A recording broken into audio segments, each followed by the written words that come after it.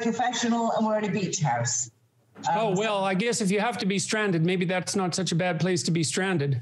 I think it would be my number one choice. Oh, good. Well, it's an ill wind that blows no one any good. Well said. Well said. Thank you so much for doing this. Well, thank um, you for thank you for being patient. I know we've put you off for a long time.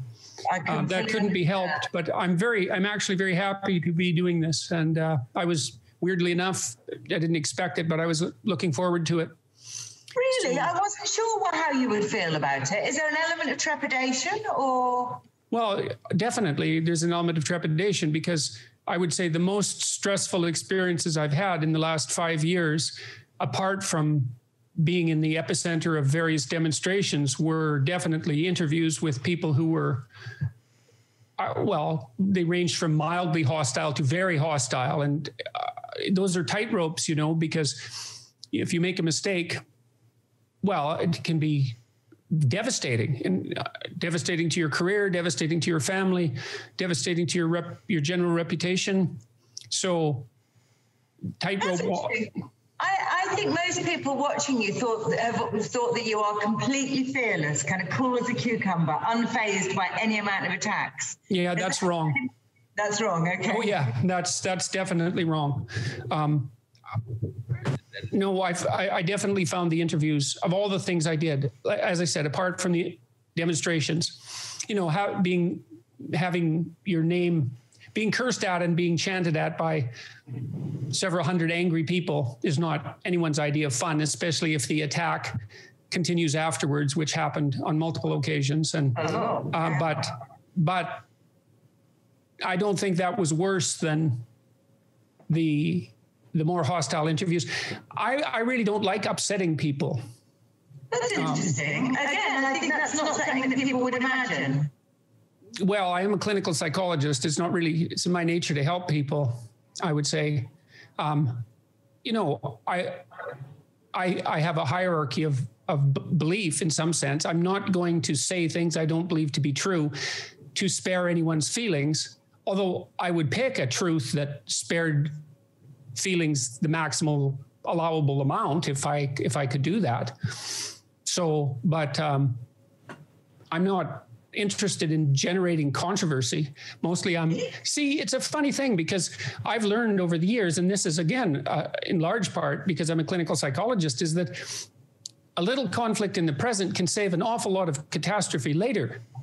And people are very much likely to sidestep a problem in the hopes that it will go away. And I know that problems don't go away. They never go away. What they do is they multiply, they fester and multiply. And so I will have the fight now, knowing that it's inevitable later. And, and I mean, I always conducted myself that way within our family, as Mikhaila can attest to. Both Tammy and I never allowed anything to sit unspoken under the rug. Mm-hmm.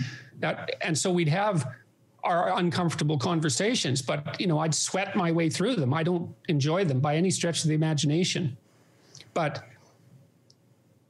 I can see the inevitable coming and and I'm I'm not going to allow that to happen without trying to make a difference. So do you think it's do you think it's the case that there are, that most people have the wrong impression of who you are or what you're like as a person? You know, I interview famous people every week, and some people have a sense that their public image is absolutely accurate, and other people, uh, others feel that there are huge misapprehensions about who they are. Where okay. do you sit on that? Okay, well, first we have a bad audio situation, so you're oh. echoing, you're echoing a lot. So we, we, should fix that because we won't converse well if that. Yeah, well, I'll go ahead and answer the last question yeah. while we're waiting. Um, I feel I believe that I'm misunderstood by the people who want to misunderstand me. Um, I think that by and large, that people have a good idea of who I am. Um, and by and large, that that image is positive. In fact, it's positive to the point where I find it very difficult to believe. Um, I mean, for example, I just finished a podcast with Matthew McConaughey on Sunday. And you, the YouTube comments, there's about a million people have watched it already. And so that's something in and of itself. But the comments are unbelievably positive. Like they're they're heartbreakingly positive. And the, and the like to dislike ratio is running about 99 to 1. And that's that's a little better than typical, but usually it's between 50 and 100 and 100 or 50 and 99 to 1. Okay. And usually the YouTube comments are overwhelmingly positive, and that's certainly been the case while I've been ill and while my wife was ill. And so, um, you know, you might quibble and say that people have an impression of me that's too positive, but, but if I had to have a problem, that would be a good problem. I think that my reputation suffers among those for whom it's convenient to assume things about me that aren't the least bit true, like that I'm alt right, for example, in my proclivities, either overtly or, or covertly, or that my followers are can be easily categorized in that manner. First, that I have followers. Second, that they can be categorized in that manner. And none of that's true. That those aren't my political leanings. I'm not temperamentally inclined to to any extreme viewpoint, and in fact, find them abhorrent. I've spent my whole life studying extreme political views um, since I was 18, essentially. And my listeners and viewers and readers are on YouTube, they're primarily male, but the, my book, 12 Rules for Life, sold about between 4.5 and 5 million copies now. And it's not young, angry men who are buying that. And and it, it, all you have to do is scroll through the YouTube comments on a popular video, and you can see that. And almost none of the discussion is political. And uh, when I did my tour for the book, it wasn't a political tour. It was I'm a psychologist, and I'm happy about that. I, I'm comfortable with that. And when I've had to make a choice in my life between being political overtly and staying working as a psychologist, I've always chosen the latter. So that's tell me. That's way Anybody? better. Is that better? Yes. Yeah, yeah. Yeah. First beat yep. the alphabet now, A B C D. Is that all yep. working? It's better. Yeah. Yeah. Thank God for that. Thank yep, God. I'm really keep... sorry about that. Oh, that's okay. You know, there's bound to be the odd tech glitch. I guess that's true. I guess so. Um, just listen, I'm curious as you're describing that kind of huge public response to you. It's a very shocking and strange thing to become a famous person, particularly yes. controversial famous person. Well, actually, I'm not. I'm not certain that it's the controversy that's been the most um, emotionally demanding. I think it's. Yeah, go on. Well, I I think I, I've had this incredible view into the suffering of thousands and thousands and thousands of people. You know, and I, I can't go out without people coming up to me Mikhaila can attest to this, but every time I go out, wherever I go, people stop me and, you know, they have an instant deep conversation with me. And they tell me that, you know, they're, they tell me about, well, first of all, they're usually somewhat shocked and then they're very polite. And then they tell me that they've been watching my YouTube videos or listening to the podcast or reading my book and that it's really helped them in some manner. And then they tell me a little bit about that. And they're usually quite emotional. And um,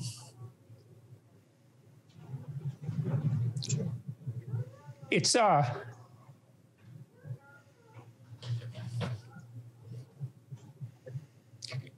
you don't have conversations like that that often outside of the clinical sphere, and you certainly don't have them repeatedly with strangers on the street. And but it, there's some, there's something about it that's that's really remarkably positive. You know, um, when I walk around, well, in any city, in some sense, it's like I'm at home because where people know me, because people say on the street, they say, "Well, uh, really nice to see you out. I'm glad that your health is recovering. It's like being surrounded by, well, by well wishers and by friends. And I'm happy about it because you know, it's it's a great thing if you're a clinical psychologist to be able to extend your reach like that. But part of what's overwhelming to me is how it's direct evidence for how little encouragement so many people get. They're starving. Sorry, I haven't done an interview for a long time. Fine, take, Give me take one as long as you need. Of course, of course, of course.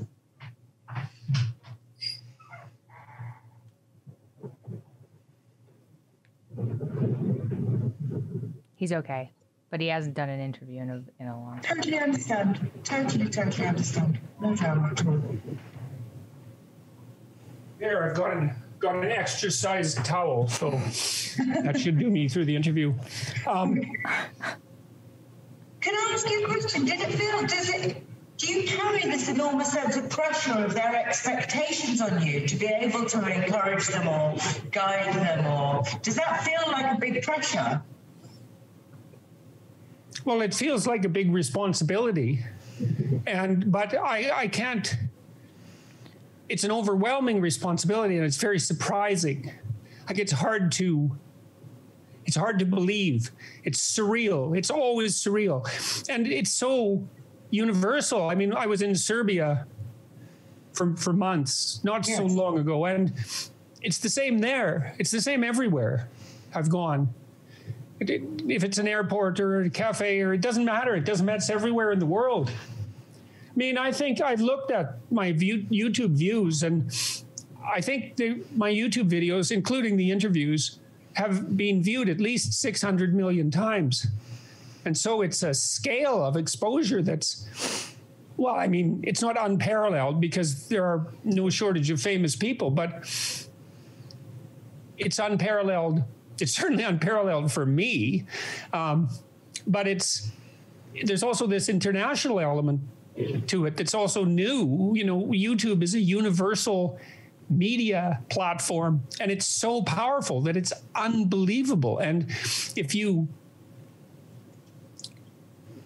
put yourself in its clutches, then well, most of the time nothing will happen, but sometimes there's a tremendous explosion.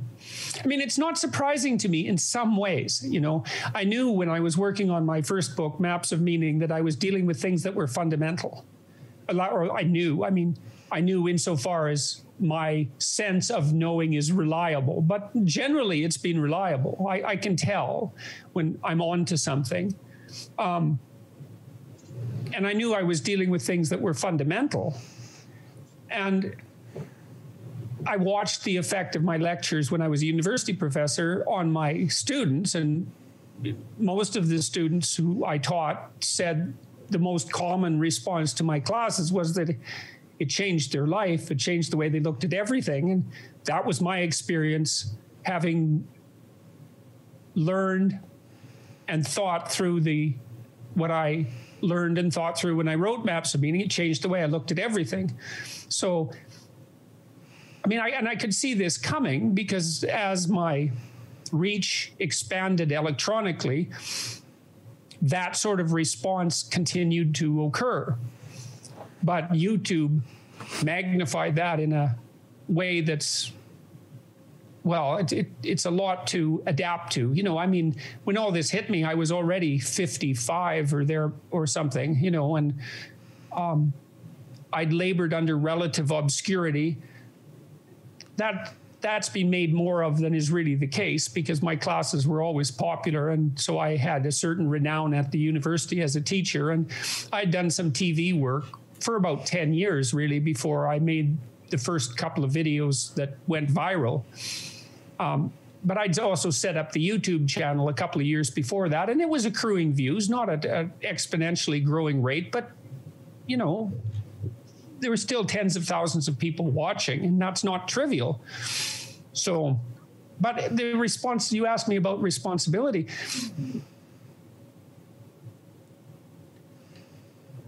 I, I, I certainly felt that when I w- have been ill over the last year. I mean, I thought it was one of the things that really kept me alive.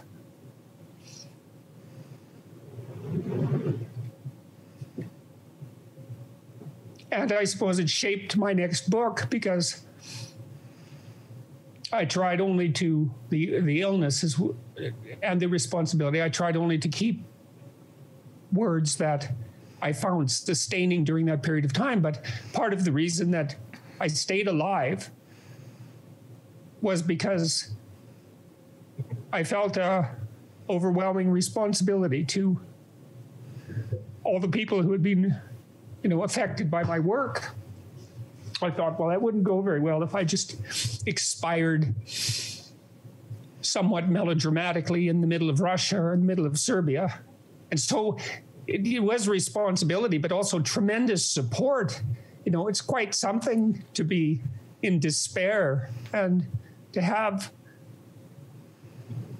thousands of people wishing you well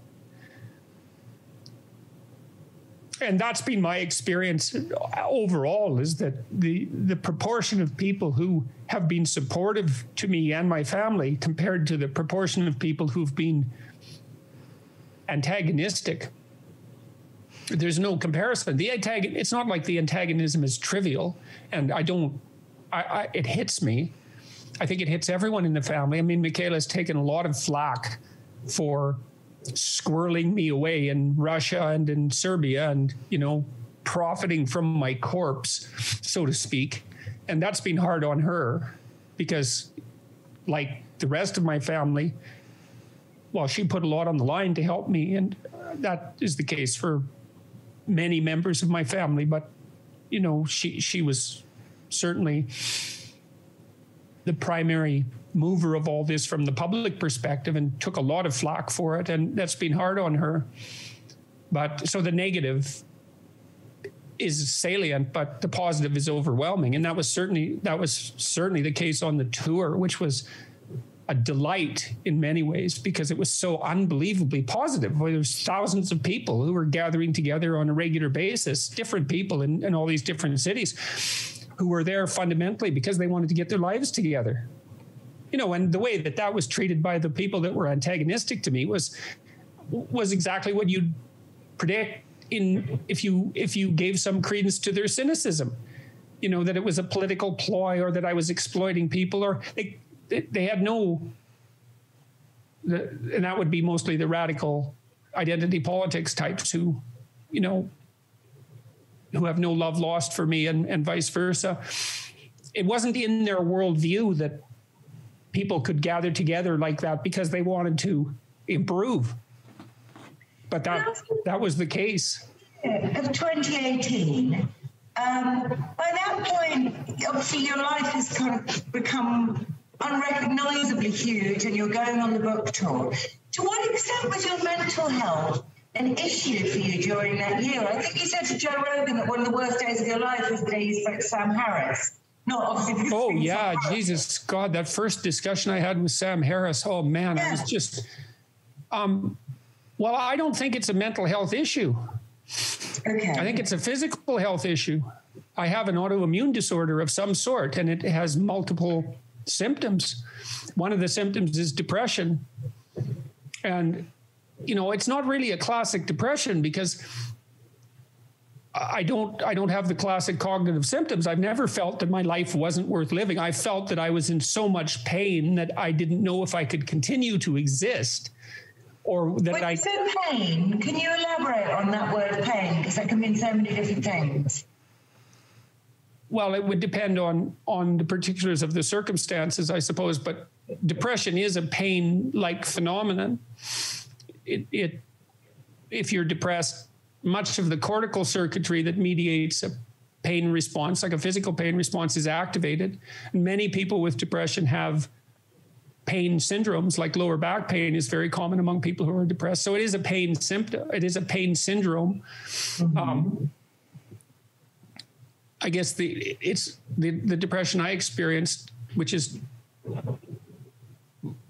characteristic of, of many people in my family was grief like, I would say. It felt like overwhelming grief. And it was worse in the morning and, and uh, would recede during the day. But it seemed to be part of a cluster of symptoms that were autoimmune in nature. and much depression is autoimmune in nature. So I don't really, I think of it as, I think it's a physical illness as far as I can tell. When, when I talked to Sam Harris, um, it's very complicated and I'm, I'm still trying to piece all of this together, but I had gone to see my family, my extended family on my, on my wife's side and um, Mikhaila and her husband and me both, all of us came down with the same symptom set that lasted about three weeks, and it was absolutely terrible. Um, I I couldn't get up without fainting. I'd faint, fall to the floor, gray out, not blackout completely, but gray out. Every time I got up, I couldn't get warm. I was wearing multiple layers of clothes and multiple layers of blankets, and I couldn't get warm. Um, I had an overwhelming sense of of doom and anxiety, um, and I didn't want to move, and plus I couldn't sleep for for days and days. I, I don't. I I was without sleep for many weeks, and you know and this people have. was from inadvertently ingesting apple cider. I have look. That's what. That's this is. It wasn't. No, hold on. There were no doubt. Hold up. multiple- It wasn't apple cider. It was sodium metabisulfite in apple cider. Um, like the alcoholic apple cider was added to a stew. I So it was sodium metabisulfite in that apple cider, but it wasn't apple cider. Right, I understand. anyways, in the midst of that, um, which was in the midst of that, I talked to Sam Harris, and I was operating at about five percent of my normal capacity, if that. It was terrible, but you know, it, I wasn't going to forego the opportunity because it was a necessary discussion. Now I was nowhere near it. I wasn't. I wasn't at my sharpest, and you can certainly tell that in the interview. Uh, you know, I, I, I couldn't respond rapidly uh, my my normal quickness of wit to what degree I possessed that was certainly absent in that first discussion with Sam. But it turned out that that was it worked out all right because we had another discussion and overall, and you know, then I had these public debates with Sam too that that really. I think we had 10,000 people at the Orpheum in London. It would, it turned into something that neither of us would have possibly imagined. I don't know if there's ever I don't know if there's ever been a larger public debate, or certainly not on that kind of issue, you know, and, and who would have known that that would become something that was so popular that it was, well, was somewhat of a cultural event. So I, I don't think it's unreasonable to, to claim that. And so you would prescribe the benzodiazepines as a result of that incident? Um, Yes. And a sleeping pill. Prescribed by your family doctor. Were you Yes. at all worried? Did you did sort of alarm bells ring about women in the 50s and 60s who got hooked on Valium and couldn't get off it? And Well, look, when, when benzodiazepines were, were first introduced, they were touted as a, an almost completely safe replacement for barbiturates. I remember. So no, I really didn't give it a second thought. What happened was, well, partly I was, I was, you know, my life was an absolute whirlwind at that at that time. Um, so it it fell. If if it had been an item of concern, it fell, you know, to number twenty on a list of twenty, and only 10, 1 through ten ever got attended to. Um, you know, at the time that I had this terrible reaction, other things were happening. The the Canadian um, equivalent of the IRS was after me and and making my life miserable for something they admitted was a mistake three months later, but they were just torturing me to death. The college of psychologists that I belonged to was after me because one of my clients had put forth a a, a whole sequence of specious allegations be- because the person was upset that I had sort of disappeared over the Christmas vacation. So that was extraordinarily stressful. Um, it wasn't clear to me whether my job was going to continue. Um, so you know there were other there were other issues. Plus, I was at the epicenter of this incredible controversy, and there were journalists around me constantly, and students demonstrating, and it, like it was a very hectic time. Um, in any case, I took the benzodiazepines. I didn't take the sleeping pills. I think I took them two or three times and just stopped. But the benzodiazepines allowed me to sleep again, and it was a very stressful time. And uh, I just they were prescribed for two a day, and I just took them. And it wasn't like I was I, I couldn't feel them. They weren't they I wasn't taking a high enough dose so that I could actually detect the effects of the of the sedation. They weren't sedating me at all. They just stopped whatever had happened to me, which I still don't really understand. You know, we, we have a hypothesis that it was a reaction to allergic reaction to to the chemical that Mikhaila described, but but it was strange that all that the three of us were affected by it and no one else as well. Anyhow, well, in any case, that's what David. That's what the psychiatrist said is that when you go off of SSRIs, you can be neurologically sensitive to chemicals. And yeah, yeah. Well, that's a reasonable. That lines up. Yeah, and I was so probably our theory. Like we did fair talk enough, to a doctor. Yeah. yeah, that doesn't give it enough credit. Like there are doctors involved here. No, it's not like we were. No, yes, and many of them. It's not like we've been sitting around armchair hypothesizing about what happened. We've consulted many people to try to figure this out. Um, and you had by that point come off SSRIs because of the diet. Is that right? Because the efficacy of the diet. Yes, and the diet did a lot of different things. Had a lot of different effects on me. Uh, uh, one of the most marked effects immediately was that I stopped snoring and that, that happened within a week and was very very surprising to me and then i i had psoriasis and that cleared up and um, i had gum disease and that, that cleared up which is that's not curable gum disease so it's treatable but not curable but it's completely cleared up and uh, i lost 70 pounds over about a seven month period. So it was the, the transformation was remarkable. And i've had other autoimmune uh, symptoms in my life. I had alopecia areata at one point and thought I was going to lose all my hair, but luckily that re- that stopped, and I had this condition called peripheral uveitis, which is an inflammation in the in the tissue of the eye, and markers on my fingernails for autoimmune, like an autoimmune condition. Your body attacks its own cells, and I had markers for that as well.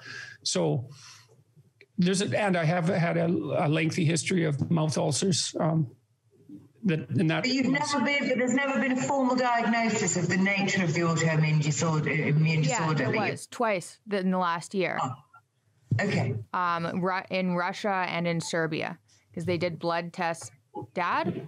Oh. Yep, I'm back. It's just uh, camera just. In, in Russia, it, it they never pinpointed what it was. In Russia, it was fibromyalgia, and in Serbia, mm-hmm. they thought fibromyalgia, but it was from blood markers. And so they were going based on blood markers and symptoms and put fibromyalgia on it.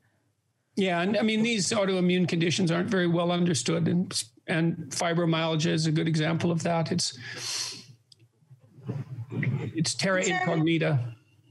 Um, so the benzodiazepines seem to help sort of resolve that issue, but you talked about how you fe- I've read you talking about how you felt that it kind of muted somewhat your rela- your relationships with people. Well, it was very confusing. It was very confusing time, you know, because a lot of what was happening to me was also, in some sense, alienating me from from myself and my family because it was so different from what had happened before. So, trying to discriminate between the strange con- and surreal conditions of my life and the effect of this drug. I never thought about the drug having any effect on me with regards to this muting and for quite a long time. And uh, and well, I also started to get kind of weak on my left side, and I, I kind of thought at that point that the benzodiazepine might have had something to do with it, but wasn't sure and that thought would just come up now and then. And i complained about it that i had a weak weakness in my in my musculature on the left side. But i never thought much of it. And I, I wasn't that worried. I wasn't thinking about the benzodiazepines like 10 hours a day or anything like that. I, I never thought about it at all. I was extraordinarily busy. 16 hours a day flat out seven days a week for for well, right until Tammy went into the hospital in, yeah. no, right until Mikhaila went into the hospital in January of 2019. It 19, was yes. flat out running. And so I wasn't sitting around thinking about what was happening with me. And, you know, if I was a bit off, well, so was my life. It wasn't exactly uh, surprising that all of this might have had some effect on my relationships. And that was kind of, that was subtle, anyways. I, I mean, we talked about it. You know, the kids would tell me that I was distant, but that's not a five alarm fire bell being somewhat distant, especially under under strange circumstances. Um, including visiting 160 cities in 200 days. Jesus. And I was functioning, obviously. I mean, I gave a different lecture every night. Were you enjoying yourself? Yeah, it was amazing. Yeah. It was amazing. And, and I don't think enjoying myself doesn't really cover it. It's it was it was the best year of your life? Dreamlike. Yeah. Um, I wouldn't necessarily say that. I've had some pretty good years. It was the it was it was surreal, but it was it was surreal in a way that was also see one of the markers for post traumatic post traumatic stress disorder is derealization, right? When the things around you don't seem real. And I was in a constant state of derealization from October 2016. October 2016 till January 12th of 2021. Go on, explain. Well, I I didn't I still don't really have the I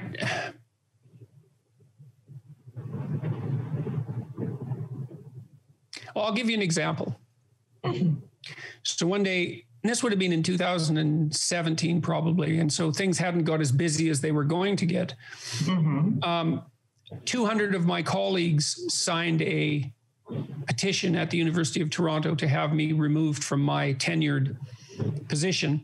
And my faculty association, so an association to which I belong, forwarded that to the administration without even notifying me. And my son came over to talk to me, and I said, Julian, um, you know, 200 of my colleagues just signed a petition asking for my removal from the University of Toronto faculty. And he said, Oh, Dad, don't worry about that. It's only 200 people. And we had got to the point by that time where that sort of event was, well, produced exactly the kind of response he had. Like under normal circumstances, I believe, for anyone who's employed by an organization, the news that 200 of their colleagues had conspired um, inappropriately to bring about their demise would be enough to rattle them for to rattle them into silence permanently instantly. And for us that was barely noticeable as a blip on on the horizon given everything else that was going on and as it turned out it had absolutely no effect maybe a, a somewhat negative effect in terms of the reputation of the university but no effect on me so no practical effect, but do you think it had a kind of residual effect? You're talking about derealization and PTSD that these kinds of well, all of this has. I, mean. I still really don't have a, a, proper conceptual framework in which to slot all this. Yeah. Um, it's it's not yeah. it's not an easy thing to understand. I don't know what to make of it. What do I what should I make of the fact that I have 600 million views on YouTube? I don't know. What do you make of that? I don't. I mean, on the one hand, like I said, I knew that I was dealing with things that were fundamental when I was writing maps of meaning, and I watched the effect of what I had learned on my students. And so that didn't, and that grew across time. It continued to grow in a linear fashion. And so, and it, in some sense, that's not that surprising because all the ideas in, in maps of meaning, which is really where I've derived most of the ideas or many of the ideas for my book 12 rules and for the new one um, you know, I, I studied people who whose work I thought was profound, and was able to integrate that and to disseminate it. And so the fact that profound thoughts had effects on people isn't that surprising. And I'm not saying that they were my thoughts because Maps of Meaning has a very lengthy bibliography and and I use ideas that towering intellects had generated uh, many of them psychologists. And so the fact that they had a powerful psychological effect makes sense. It's, it's still something to be the messenger, even if you're not necessarily the originator. But so that part wasn't what wasn't a surprise in, in some ways, but the magnitude of the the magnitude of the response has been and the nature of the response, the emotional nature of the response has been continually amazing. You know, when, when, when I was visiting Tammy in the hospital, well, and then, you know, not only did all did all of these things occur on the social front, you, you got to think about it this way. You know, I've watched people respond to being attacked on Twitter. So they'll post something or write a paper, and 20 people will go after them on Twitter, and that'll produce a bit of a storm. And they usually apologize profusely and back the hell off and disappear. It's really, really emotionally hard on people to be attacked publicly like that. And that happened to me continually for like three years and on a way larger scale than 20 people. You know, I mean, the, the, the even just the events at, at, um, um, Wilfrid Laurier University with Lindsay Shepherd. Like was that was the biggest scandal that hit a Canadian university, certainly in my lifetime. And that was just that was a sideshow. And I'm, I'm not making light of it. it. It wasn't a trivial occurrence, but it was just one of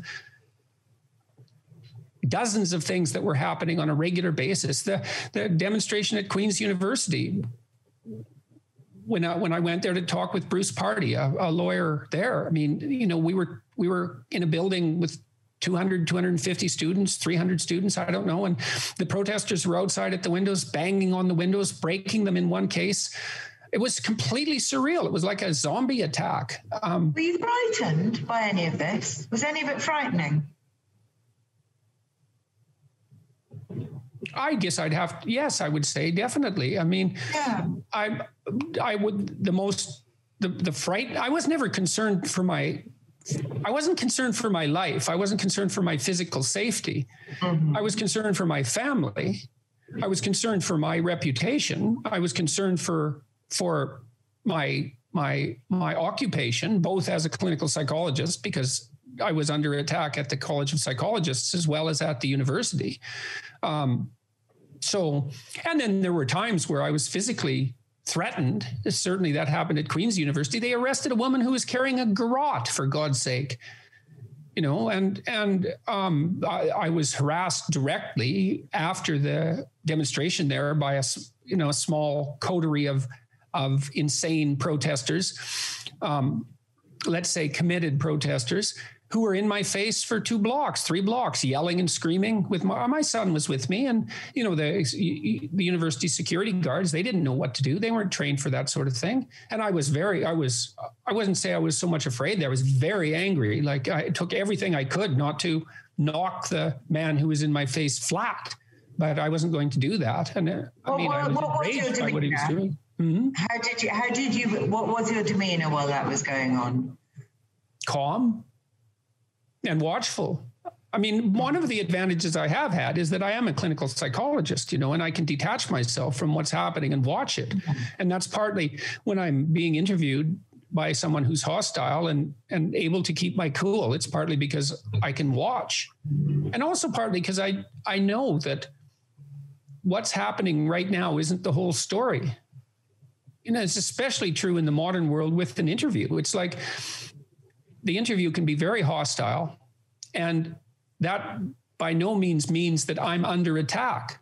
It just no. feels like that in the moment. Like with with the interview with with Cathy Newman, for example, on Channel Four, or there was another interview done by a, a woman who works for GQ, which I think has been viewed, yeah, it's been viewed 22 million times, I believe, at the moment. So it's just it's just under the Cathy Newman video in terms of number of viewers that was a very, very uh,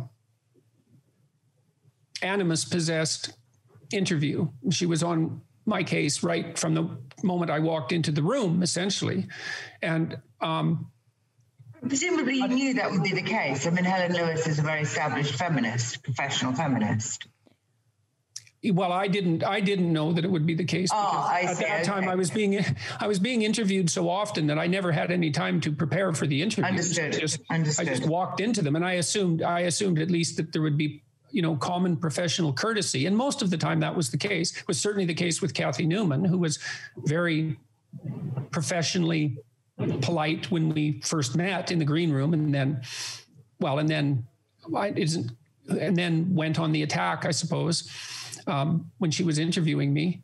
But both of those interviews, the tide turned, you know, and it was very, very strange with the Cathy Newman interview because, first of all, people were rather sympathetic to me. And then she reported um, being harassed, especially online. And then so the sympathy sort of moved over to her side of the equation, let's say. And then for one reason or another, it shifted back to me. Um, but do you think, but did you enjoy them in real time during those two hours with Helen nearly and half an hour with Cathy? No, you didn't enjoy a second of it? No. Oh, yes. With Cathy, I enjoyed a second of it. Which when, second? Well, when she stopped when when when I see there was one point where she was reduced to silence, and I'd asked her a very serious question, which was how why she thought it was okay to go after me for making people uncomfortable with my opinions when it was okay for her to go after me and make me as uncomfortable as possible in this particular scenario. And she had no answer to that. And she had no answer to that because she knew perfectly well that she was being hypocritical. And she stumbled and, and stopped speaking. And I said, Gotcha. And I enjoyed that. And I thought, like in that half a second, I thought long and hard about whether or not I was going to say that. I knew it would be funny. And I do have a sense of humor, although it's rather suppressed. It's been rather suppressed over the last couple of years. Um, yeah. And I took a calculated risk. And I would say that I enjoyed that because it, the timing was right. And um, and it worked. It paid off. But it sounds as if. But it was a risk, man. It could have easily gone badly. Right. You, it sounds as if you've withstood all kinds of pressures and stresses and navigated an extraordinary roller coaster and kind of kept it all together and handled it up until 2019 when your wife is in hospital and being given this devastating. Well, news. 2019 was, you know, it was just, it, it started out rough. I, I mean, I went, uh, yes, I went to Switzerland, yeah. and I was in, and I was in Switzerland with Mikhaila for well for a number of weeks when she was having her ankle rebuilt yeah. by by carpenters. I mean, it was very dramatic surgery, um, and the outcome wasn't obvious. She could have easily lost her leg, and lots of people that she talked to suggested that that would be the case. And so, and it was strange to set up camp in Zurich and and to bring her food and and to take care of her. And then we went to Australia for a whirlwind tour in February, and that went quite nicely. And then, well, things just things just fell apart insanely with Tammy. You know, it was just every bloody day was a life and death crisis for like five months.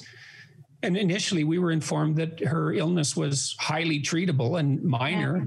And, you know, just in, in a typical cliched movie scene, we went to see the doctor after she had had her surgery, but wasn't recovering quite properly. And they said, well, she's contracted this cancer that's so rare, there's virtually no literature on it. And the one year fatality rate was 100%.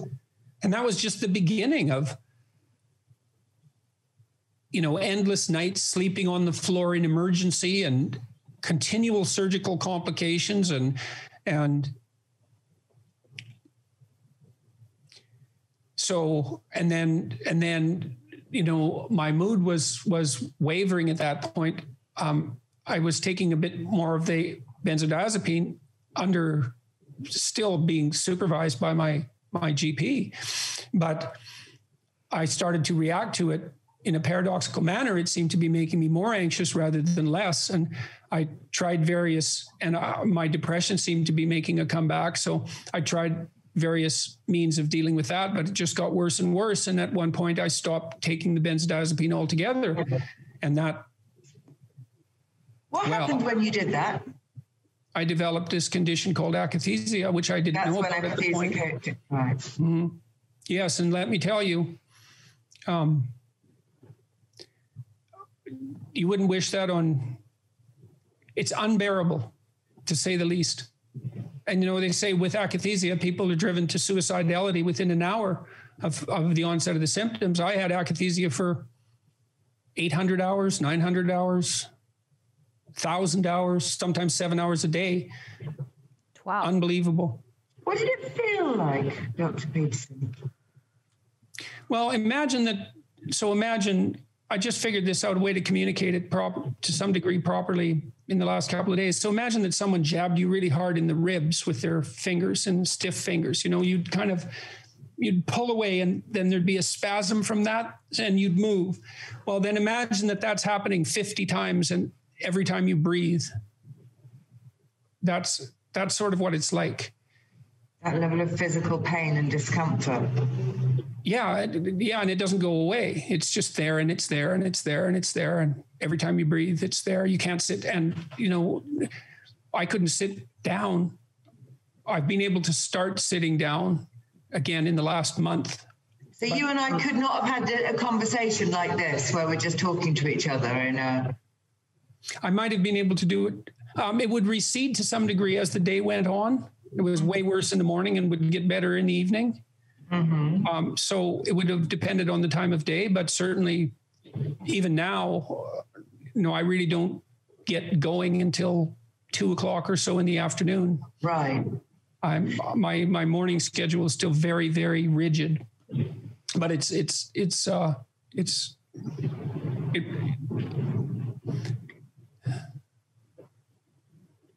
yes it's un it's unbearable the sensation and it's also humiliating because it's a voluntary movement disorder and wow. so what that means is that it feels like you're doing it it and i could also control it so if it was happening and i was twisting and, and moving and walking around in my bedroom uncontrollably thousands and thousands of times. If one of the people who were caring for me, a nurse or a doctor, said, Well, can you stop it? I could, I could stop it. It's Although not, I had a hard time stopping the effect of the breathing. It's not voluntary. One of the symptoms of akathisia is that it feels voluntary. This is in hmm. akathisia. So, one of the torturous things about it is it feels voluntary. There are other like psych side effects. Well, and you can control, you can stop it at least briefly. Well, yeah, there's a disorder called dyskinesia where you move, but you don't you don't even know you're moving. It's so it's it it's an uncontrollable movement disorder, but it's involuntary. It doesn't affect the voluntary motor system, but akathisia does. And so there's always this sense that you could stop it if you just exercised enough willpower. So it's humiliating as well. And does that also generate a kind of self punishing dynamic in your head that you're angry with yourself? Disgusted, I would say, more than angry. Disgusted. Where you feel as if you're being kind of grotesque and ridiculous and weak, is it? Or yes, definitely. It's not only that you feel like you're being that; it's it's that is the situation, or that's certainly how it appears. Grotesque for sure. And did you feel incredibly self-conscious about it and being? Oh no! Seen? After a while, I just like being self-conscious. It was so awful that being self, the problem of being self-conscious fell way down the the. Uh, like if you're in enough pain, you're no longer self-conscious. It's there, but it's. I shouldn't say that. You're still self-conscious, but the that problem is so. It's trivial compared to the pain. Oh, it was horrible. I mean, I'm. That's the other thing that's so strange about this and and that's also made this surreal is that I'm actually a very private person.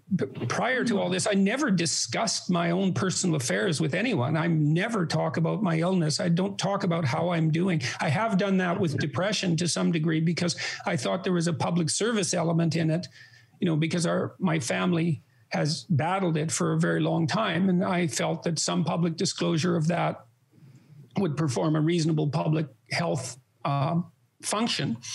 But other than that, I'm not inclined towards personal self disclosure and certainly not on a mass scale. So that's also been very strange to have all of this be so public over the last two years.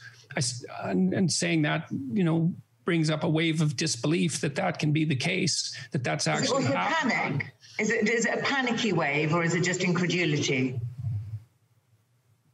At now, I think it's mostly just incredulity. So you've obviously tried to get treated twice in the, in North America, first on the Eastern Seaboard, yeah, and then was, in that Toronto. just didn't work at all. Mm-hmm. Do you even remember much about those two? two I don't remember anything about Toronto. Uh, there's a I don't remember anything. Toronto. From December 16th to February 5th, I don't of of 2020, the end of 2019, the beginning of 2020, I don't remember anything at all. Do you think you even did you know that you were being that you were flying to Moscow to be put oh, into a coma? Yeah, yeah. So in real time you were fully aware of it, but you've got no memory of it now. That's right. Yeah. I mean, obviously, what lots of people would say is, why this is obviously I've talked to various people about this, and everyone says, why on earth would a high profile North American? I went to the best treatment clinic in North America in Connecticut, and all they did was make it worse. There were, we were out of options. Like it, we were out of options. My the, the judgment of my family was that I was likely going to die in Toronto. And so you there was no. Die in Toronto. Again, I mean, lots of people would say, why would you sort of trust the judgment? Although your family members love you, they're not trained, qualified medics. Why would you? T- why would you put yourself in their hands and not the medical profession's hands? I had put myself in the hands of the medical profession, and the consequence of that was that I was going to die. And there were, we put ourselves in the hands of medical professionals in Russia too. So it wasn't like we were fleeing completely fleeing from the medical profession. I tried a slow taper on the benzodiazepines and I couldn't do it. Yeah. You know, and I went to this the treatment clinic in in on the Eastern Seaboard, and they had promised essentially um, a 12 week treatment program. And my impression of that was that at the end of that 12 week period, I would be free of benzodiazepines. Mm-hmm. But that isn't how it worked out at all. And I was I was on more medication when I left that treatment center than I was when I went in. Were you angry with them? Were you arguing with them? No. Why not? There was no point in in being angry. It was wouldn't be helpful. I was disappointed. I mean, when I when I went when I went there to begin with, uh, right at ad, admission, they basically told me that the, the 12 week program was unlikely to be successful, and I thought, well, this is a hell of a time to be informing me of that since I've just come down from Toronto. But by that time, I was, well, there wasn't any alternatives at that point. So, you know, I was in, the, the, I was in a sufficiently dire state so that it wasn't tenable for me to maintain my residence. The clinic who the clinic you went to in Moscow, they're more they're more familiar with doing a kind of induced coma to have sort of a, a, a speedy withdrawal from opiates rather than benzodiazepines. Is that right? Uh, Mikhaila would probably be better able to answer that than me. No, you're back. I suppose again, one of the things that people absolutely associate you with is that you are meticulous about following the data. You know, it's almost a kind of Peterson catchphrase. There's no evidence for that. You know, you are very much an evidence-based person. What was the evidence that you saw that was so compelling and overwhelming to take you to Moscow? I couldn't do the the um, I couldn't do the I couldn't tolerate the uh, the gradual taper. So it was the only other alternative. That's all. It wasn't that it was compelling, it was that we were out of options. Right. Yeah, the treatment I received in, in, on the Eastern Coast and in Toronto didn't help. It made it worse. Yeah. So we didn't have any other options. What were you most frightened of at that point? I know Mikhaila's talked about your kind of your oh, anxiety levels. I was yeah. I was most afraid of akathisia. Like, right. like there isn't anything else that like every day I had akathisia was the worst day of my life by a huge margin not by some trivial amount, but by a huge margin. It was absolutely unbearable. I, I mean, I tried to describe it. Uh, it it's very difficult to describe. It's like pain, but it's a pain that that you can't that only movement will satisfy. I mean, even now I'm walking 10 miles a day. Yes, yes, I heard. Yeah. So um, I mean, obviously, look, the obvious thing that critics, your enemies, would say, I'm sure you, uh, this is hardly going to be news to you, would be hold on a minute, you know, you've, your entire intellectual framework, your philosophy of life is that life is about suffering, about pain, and that the manly, strong, dignified thing to do is to accept that pain and suffering and battle through it and learn from it, and that the coward's way out is to try and take drugs to to um, to no i've never said that i have I've never okay. said that and as a clinician i mean um, I've had many people in my practice. Look, if you're a if you're a viable clinician, you encourage people to take psychiatric medication when it's appropriate. And many people in my practice were helped to a tremendous degree by antidepressants. I was. They were they were unbelievably helpful to me and to my and to other members of my family. Not universally and not without a cost, but but very very helpful. And you know that's a caricatured viewpoint too. What what I really encourage people to what I what I encourage in people is the um, it isn't useful to allow your suffering to make you resentful even though you have many you have reason for that. And so part of the battle it's a ridiculous caricature that that perspective. You know life people people are hurt badly by their lives in all sorts of ways. And becoming bitter and resentful about that means that you start to cause extra suffering in yourself and in your family members and in your community and that's not helpful. It's not helpful. And believe me, I mean, I've I've had plenty of temptation to become resentful about what's happened to me in the last two years with my wife's terrible illness and well with my daughter's illness first of all and then with my wife's illness and then with mine you know and and i've certainly had my moments where i thought it was torturous because it was unbelievably torturous because i was in agony and and with with an indeterminate uh, prognosis but certainly one that indicated that this would last for months and months and only slowly recede, months and months and perhaps years. Um, I was shut off from my family, except for well, for much of this time, and among strangers who didn't speak my language. Mm-hmm. Um, and at the same time, I was.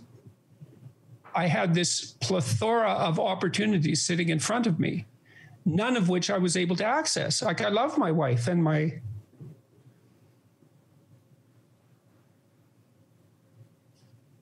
my kids and my grandkids and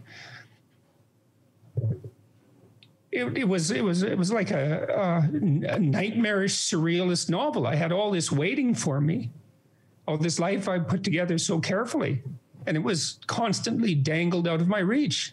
I was co- completely consciously aware of that. The condition I, I developed made it impossible for me to live at home. So I was divorced from from my profession, from all the things that I was working on, and from everybody that I loved. I had plenty of reason to become, like many people do, to become bitter. It's not helpful. When I watched the podcast that you did with Mikhaila, I thought you looked angry at moments, and I was wondering who you, who or what you were angry with. Well, pain will make you angry. Right. You know, so fate, I suppose. It was, I mean, I would say, well, we've had our health troubles in our family for the last few years, many years. And the last two years were surreal in that regard again. It was just too much. And so I was never or very rarely angry when I was in the hospitals. Never angry at the nurses or doctors, or very rarely. Is there anybody of you that's angry with yourself for taking benzodiazepines when now that you know how dangerous they are? Uh, angry.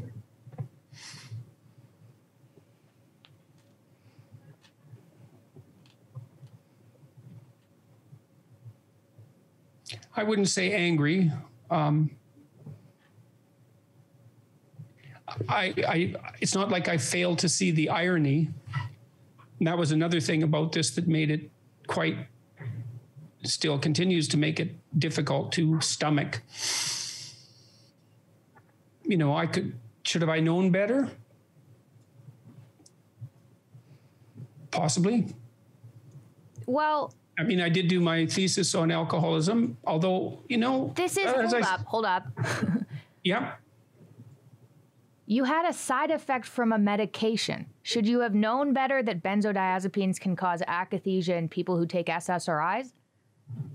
No. You didn't have it like this. It turned. This wasn't benzodiazepine dependency problem. This was an akathisia side effect from psych meds. right. So, like, let's yes, and no, I couldn't have known that. Yes, that's right. Um, Thank you. I, I have to say we have ten minutes before we have to wrap up. Yeah, I'm doing okay, by the way. Yeah, yeah, I know, but still, or mom will kill me.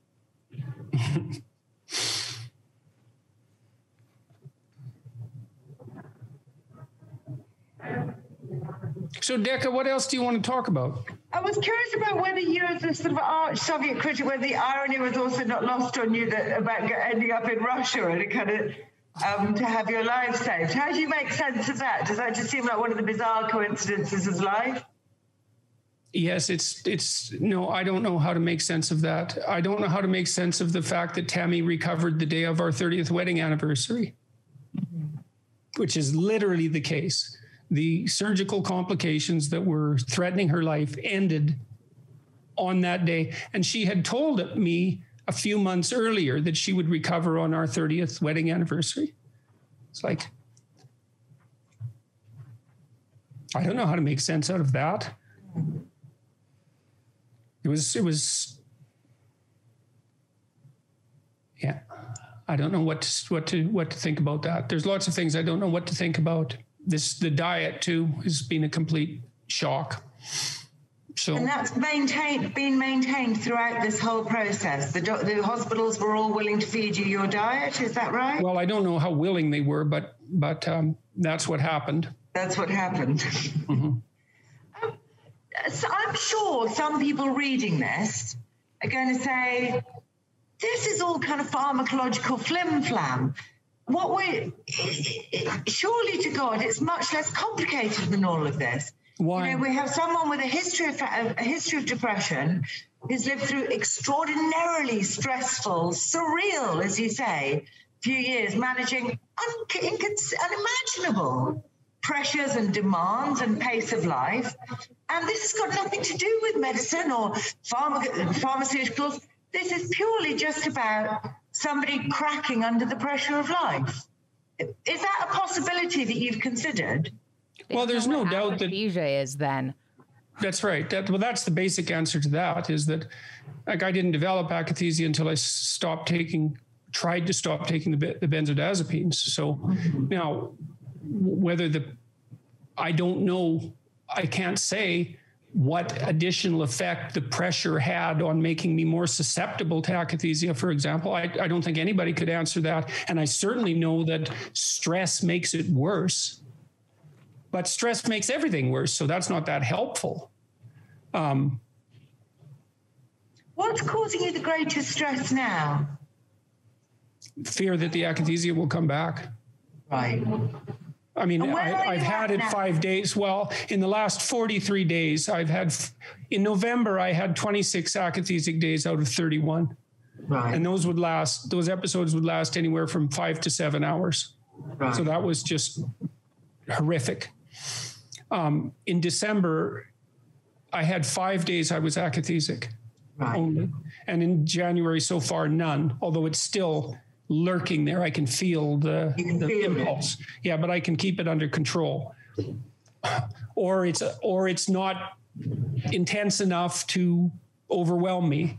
I don't want to claim um, I don't want to make any unwarranted moral claims about the effect of my will. It certainly seems that I am effortlessly suppressing the desire to move constantly, almost constantly. But that's starting to recede, and the mornings are still very, very, very difficult.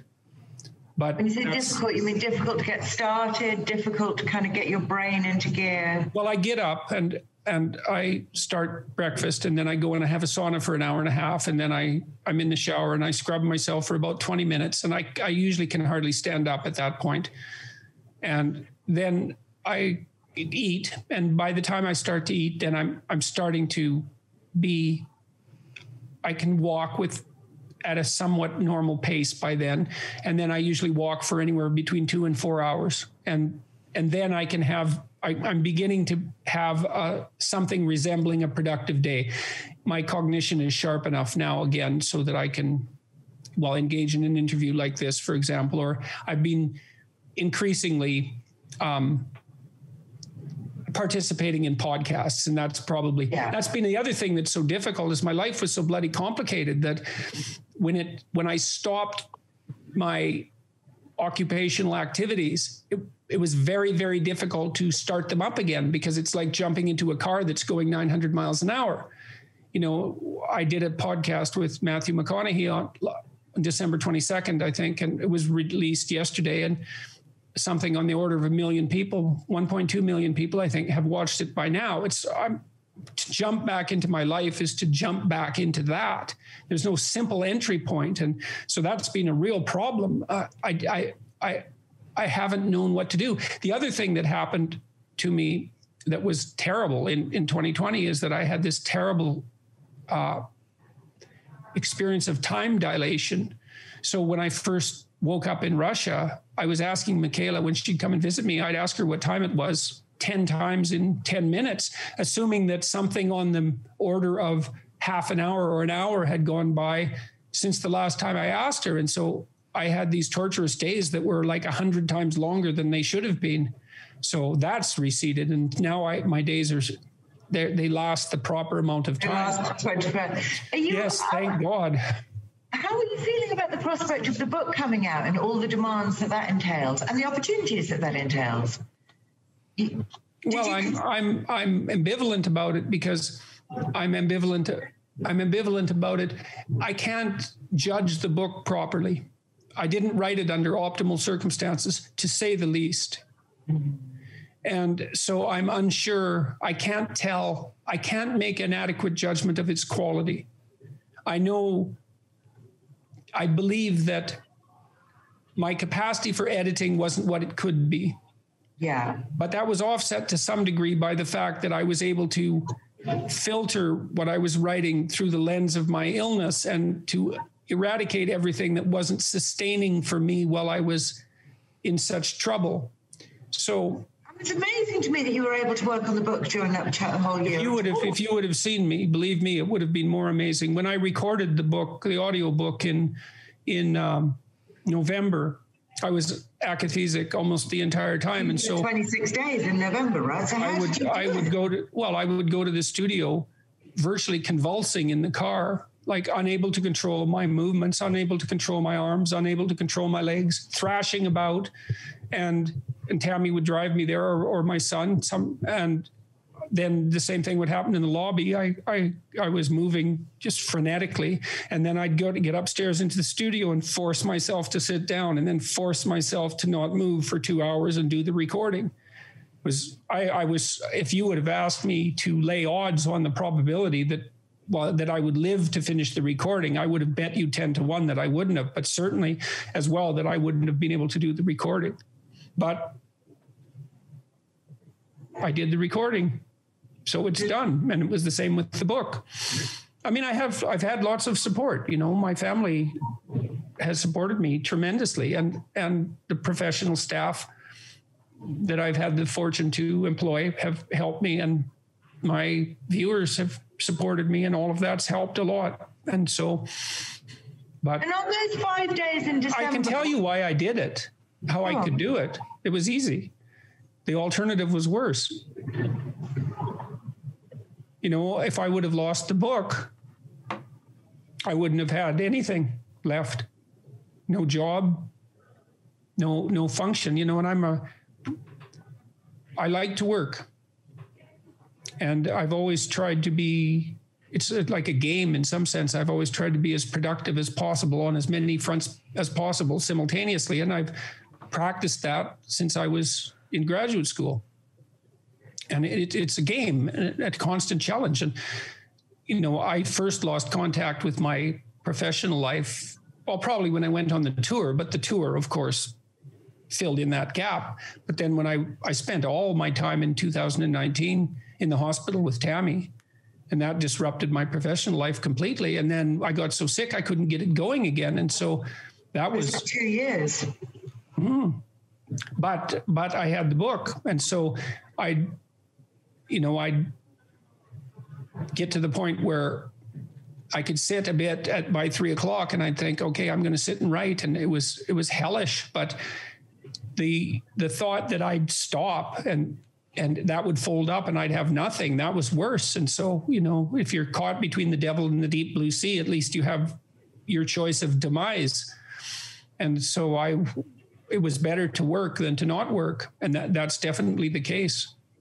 So that's why, That's to why. the degree that I can explain how I was able to manage it, I'm not going to talk about willpower or courage. I'm going to talk about the lesser of two evils. Yeah, that makes sense. Um, we've only got a second. Uh, yeah, actually, let me ask you one question. Then I just wanted to ask you a little bit about recent news events. Um, if you could turn back the clock five years, what would you do differently? I wouldn't take benzodiazepines. Are you angry with the doctor who prescribed them to you, who knew that you had also already done 15 years on SSRIs? No. Look, um, he he he served. He was my my daughter's physician as well, and he was very helpful to us for a large part of her trouble, and so it would have. No, I'm not angry with him. This uh, might seem maybe he should have known better, but maybe I should have known better too. And like you know, he he also it wasn't like I was consulting him every month. There was no reason there was no reason f- to to raise red flags. I was on a relatively moderate dose of benzodiazepine. And that's it's not like that's rare. It's unbelievably common. Now it's not good, as it turns out. The FDA put out warnings last fall, you know, stating quite clearly that these drugs shouldn't be used for more than 10 days. But the FDA didn't drive that message home until last fall. So those are the breaks, you know, and and I'm not happy, and I don't see how he could have. No, I don't harbor any resentment towards him. And just before we finish, can I just ask you a quick question about recent news events? I'm sure, Sure, Go right ahead. you've been as kind of gripped as the rest of us by events in Washington in the last couple of weeks. Um, do you obviously lots of people are now saying, actually, I've changed, I've revised my opinion about Trump. I didn't think he was dangerous. I didn't think he was. And you had certainly said quite calmly things. You've called him a liberal and a moderate, no more of a demagogue, demagogue than Reagan. Um, do you still feel that, or have you similarly changed your view about him? Well, I'm not. I'm not really. When I'm looking at what's happening in the United States in the last week, I'm not really thinking about it in terms of Trump. I'm thinking about it in terms of a positive feedback loop that's developed between the radical left and the radical right, and that that's something that I saw coming five years ago. And you can put it out at Trump's feet, but it's not helpful. I mean, obviously, he was the immediate catalyst for the horrible events that enveloped Washington, the inexcusable events that enveloped Washington. And perhaps it'll all die down when Trump disappears, but I doubt it. And what I see, what's happening is there's a feud going on. And the feud is between the radicals on both sides of the political distribution. And the left will do something extreme and the right reacts, and the right will do something extreme and the left reacts, and the left blames the right and the right blames the left, and that's a feud. And they're both right. They can both point to incalculably stupid things that their their opposites across the political spectrum have engaged in. The danger is that we won't be able to dampen this down. Now, if Biden is wise, and I'm hoping that he is, he'll dampen the positive feedback loop down. A, system is in a positive feedback loop when it amplifies its own behavior. And that's what's happening. And that can easily get out of control. Should And Trump- Biden, Bi- Biden now has sufficient political power so that he could emerge on the world stage as a genuinely moderate Democrat. He could leave the identity politics behind and rule in a Clinton esque fashion. And that would be good. And we'll see. I'm, I'm, I'm hoping he can manage that. But the, the American political situation is it's a robust country and it's been through worse. But there's always the danger that things can spiral out of hand. Are you more worried Hopefully now than you were five years ago, four years ago? No, I'm not actually. I think that all things considered, 2020 could have been a hell of a lot worse politically, given the fact that there is a simultaneous pandemic. People are under an awful lot of stress. Everyone. They're too isolated. They're, they're cut off from their family members. They're under unbelievable economic strain. And they're also susceptible to the paranoia inducing influence of the bubbles that have emerged on social media. And then those are that that technology is exacerbating people's conspiratorial mindsets because they can find like-minded people and don't encounter correction. It's not good. But having said all that, we're not doing too badly. You know, if we're lucky, the vaccinations will proceed apace. We'll start to see a real decrease in the intensity of the epidemic by the end of March or the beginning of April. It's not that far away. It'll be mostly the vaccinations will be universally accessible by September, and Biden will have proved to be intelligently moderate and cautious. And we'll squeak through this. Now, that's that's the most likely outcome as far as I'm concerned, and it's certainly the one that I'm hoping for. So, you know, my my my objections to the identity politics types were elicited in large part because I thought that the continual pushing on the radical leftist front would wake up the sleeping right. And so it came to pass. Well, we'll see. You know, I, am not going to say that that was accurate. Um, I don't know how awake the sleeping right is. You know, and what happened in Washington was appalling, but it was also stupidly appalling. Thank God. You know, there was an element of farcical theater about it, and and so that's a relief in some sense. Like it's much better to see stupidity than malevolence, than organized malevolence. And I'm not saying there was no organized malevolence, there certainly was, but there was plenty of theatrical stupidity. And Trump is definitely egging that on, you know, and and and he's divisive in that, very divisive that in that should, manner. Should he be impeached for that? I think he should be ignored. That the best thing that could happen is that he would fade away. And impeachment will amplify? Well, I'm not claiming to be omniscient in these matters. But yes, I think that impeachment will just, it's, God, he's gone. What? Hang on a sec.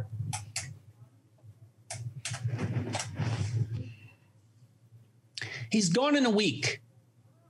And the Democrats could busy themselves with getting the goddamn vaccinations out. You know, Biden's Biden could be a successful president instantly if he did nothing else but vaccinate 100 million people in the next 3 months. And there isn't anything that's anywhere near as important as that. And I'm hoping that what happened with Trump and his his incitation, his inciting to to to um, protest, I'm hoping that'll fade away and that wise people will allow it to do exactly that. I don't think stoking the flames is a good idea. I've never thought that. That's what's uh, I can from my perspective, I could see what was coming. Too much, too much ideological nonsense, too much ide- identity politics. That's why Trump was elected to begin with. The Democrats alienated their their working class voter base. They sacrificed the, their typical the people that they had stood for for for decades on the altar of identity politics. And I know why that is too. The Democrats don't have any policy making procedure. It's not part of the political a part of the political system. And so what that means is the the radicals who have a narrative control the rudder because they have a narrative and the centrists don't. And this is absolutely clear. I've been to Washington many times now and watched it. So the centrists need a story. And there is a story. The story would be peace and prosperity for all of us, low cost energy, you know, an economic an economic program that would that would that would benefit everyone, but maybe even most particularly the poor, because inequality is a real problem. Inequality destabilizes societies. It's clear. And so if you're a right winger or a left winger, you have your reasons to control inequality. If you're a right winger, you control inequality because you don't want your society to spiral out of control. And if you're a left winger, you control inequality because it's unfair that the people at the bottom are suffering the way they are, the ones that stack up at zero. It's a it's an unbelievably deep problem, and cheap ideological solutions aren't going to solve it. You know, inequality isn't a function of capitalism. It's it's not. There's no evidence for that whatsoever. And so the, the continual attempts of the radical leftists to blame inequality on capitalism are self-defeating. And and if the, if if if you were, I was talking to um, Matt Ridley the other day. He wrote The Rational Optimist, a number of other books, you know, and one of the things you might derive from Matt's books is that if you were truly concerned with the poor and with the environment, you would do everything you could to make the poor as rich as possible as fast as you possibly could, because rich people care about the environment. And the fastest way to lift rich, poor people out of poverty is through free market capitalism, clearly. And the evidence for that is quite pronounced. Since the Soviet Union collapsed, more people have been lifted out of poverty than in the entire course of human history before that. From 2000 to 2010, the number of people who were in absolute poverty in the world fell by half. The Chinese just announced its eradication last week. And by 2030, the UN predicts that there will be no absolute poverty anywhere in the world. So there are alternatives to this terrible ideological idiocy that's that's threatening the stability of of that's threatening the, the that's threatening stability in places like the United States. Anyways, look, I have faith in in Western democratic institutions. And the Americans have been through all sorts of upheavals in the past and come through with flying colors. And I think the same thing will happen now. I pray that Biden keeps the radicals in his party under control. He has the mandate to do that. He was a moderate, he was elected as such. And there's plenty of moderates in the Democrat in the Democratic Party that he could rely on. He doesn't have to pander to the radicals. And I've seen some evidence of that pandering already. It's very unfortunate. You look at that exactly like we should wrap this up. Yes. Otherwise, Tom is going to wonder why we've been doing this for an hour and 40 minutes. Okay, okay. okay you I, said I look exactly like. You do. I mean, listening to you speak then, that's that, that, that you would be eminently recognizable to anyone who's ever followed you or read you or. I suppose just before that, I'm curious. Do you think what what in any if in any way do you think the experience of the last year has changed you as a person? I have far more appreciation for the banality of the normal. You have no idea what a privilege it is to be able to sit down. On that note, thank you. I have to shut thank it down. though. So, look before we before we stop, Mikhaila, we should think about this. Decca, you should think about whether you got everything you wanted. I mean, I want this interview to be, I want you to be satisfied with this interview. And uh, it's in, it's obviously in my interest as well as yours that you're satisfied with this interview. And so if you have other questions, if you think there are things that we haven't talked about, if you think there are lacunae in, in our conversation, then let us know. Okay. Brilliant. And we'll make arrangements to talk to you again. Fantastic. Thank you. I really, really appreciate this, all of you. Thank you. Yeah, I guess I, I'm, I have one other one question for you too. I think of all the things, I think it would be a mistake to tilt this discussion too much towards the details of my illness because the story the story here that hasn't been told properly is the reason for the tremendous hunger that's manifested itself for the sorts of things that I've been talking about. And there isn't a journalist who's got that right yet. And I think that's because journalists tend to look at things from a political perspective. And this hasn't been a fundamentally political um, what I've been doing hasn't been fundamentally political, even though it's been cast that way. You know, I've been trying to help people. I've been trying to point out to people that they need a profound meaning in their life because their lives are difficult. And and without a sustaining meaning, then you can become bitter. And that's a bad outcome. and also that the meaning that you need to sustain yourself is to be found through responsibility. And that's the fundamental that's the fundamental message that's resounded with people. It's that small equation. Meaning justifies suffering, and meaning is to be found through responsibility. And no one, no one is, no one is delivering that message. But it's it's it's not optional. That knowledge. It's vital. People can't live without knowing that. And so that's what I've been telling people is that look, your life is going to be hard. And that can warp and, and, and hurt you in a way that will incline you to make things worse rather than better. But you can forestall that without being naive by taking on the proper responsibility in your life for yourself and for your family and for your community. And that's real. That makes things better. It's not just a psychological paper over, it's the genuine article. And then I have all these thousands of people who are continually communicating with me who say, I've tried that. I tried that. I was desperate and I tried that, and it works.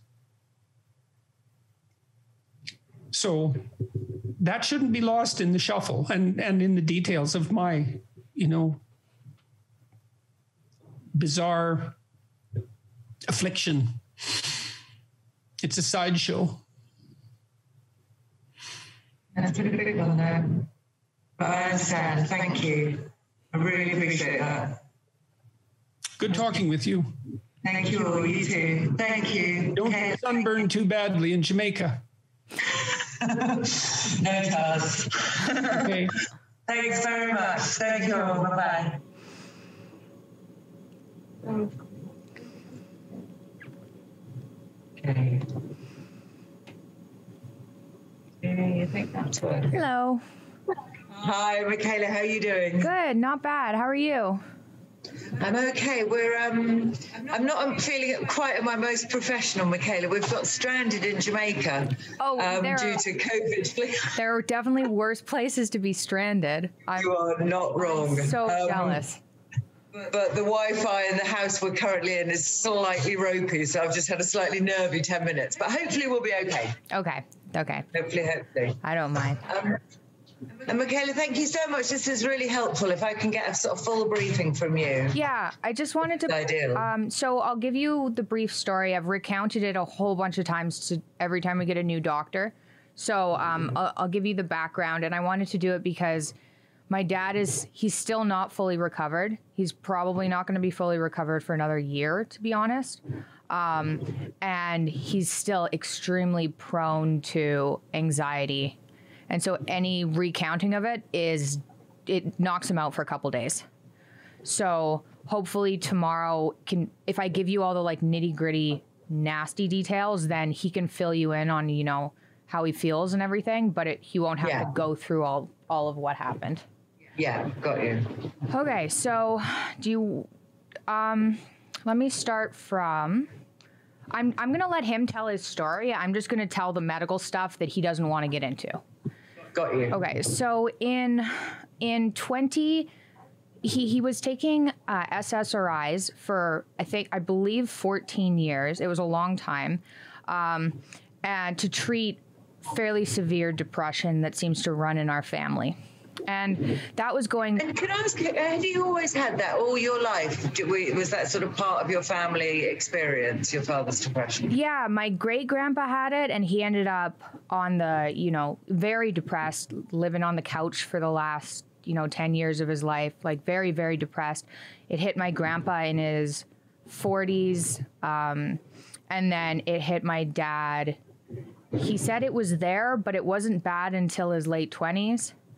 Um, and so he didn't start taking, because he, he didn't want to take medication for it, but it was starting to affect his lecturing. He wasn't able to lecture. He was working at Harvard, and it started to affect his lecturing. So he started taking an SSRI, and it and it helped quite a bit. And then it hit me, and it hit me when I was really little, like twelve. Um, so it's this familial depression, and in 2015, um, we went on a low carb diet. he got a lot healthier. You can see from the videos in 2015 to 2016, he lost, he went from 218 to 160. He lost a whole bunch of weight. Um, he had GERD and gum disease that got better. He had psoriasis that got better. And his depression started to get better. So he went off of the antidepressants. And it was things were okay and then they weren't okay. And he went on um he went on rogan and he got a lot of negative media for this but he talked about this uh, sodium metabisulfite response in apple cider where he had severe insomnia and it is actually something that happened. It happened to both of us and we now know what So happened you were both affected by it. yeah, Yeah. it was over Christmas and it hit him. It hit, it was really awful, but it hit him harder.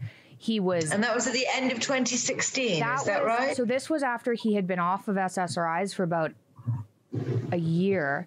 This was um at the end of 2016. yeah. Yeah, it was at the very end of 2016. So he had this response where he got pale, he couldn't stand up without blacking out. He wasn't sleeping. He had this impending sense of doom.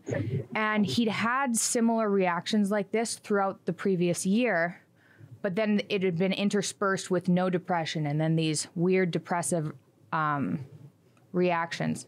So we had we had this reaction and he went to the doctor after about a week of being he was in really bad shape like um and this was kind of at the same time he was under a lot of stress because the book was about to come out I was just going to say exactly. He was. I mean, 2016 had been a big year for him in his career. yeah so not only was there this health thing but there was actual life stress going on so there was some question at u of t about whether or not he was going to keep his job um, Yeah. So that was incredibly stressful. And then just even just having people come up in the street, even though that was overwhelmingly positive, just going from not being known to being known was stressful. But the main, our entire family agrees, the main problem here was this weird health thing. And we were going to doctors and they didn't really know what was going on. So he was, we went, he went to the family doctor and the family doctor put him on a really low dose of a benzodiazepine. Hmm. And just And is that the same family doctor who'd been prescribing the SSRIs before then? Got you. Yeah. So um, he just took it, and it helped with his, especially with the insomnia. Um, and then he had. We didn't really think about it because he'd been taking SSRIs for, you know, 14 years, and they, he had this Yeah. year where we were trying to get the depression under control, and then so he was on another, you know, psych med, and we are like, okay, whatever. Um, at that time, we were not aware of the response some people can have to that. So he he stayed on that and he did his world tour and things were okay. Um, were pretty good, I would say. And then my So you weren't concerned at that point. It all it felt as if the sort of situation had been managed. yeah, well, we thought we didn't really know what these. I knew because I have an autoimmune condition on top of it, and I'd been having these reactions, these ridiculous food reactions that was also kind of ridiculed.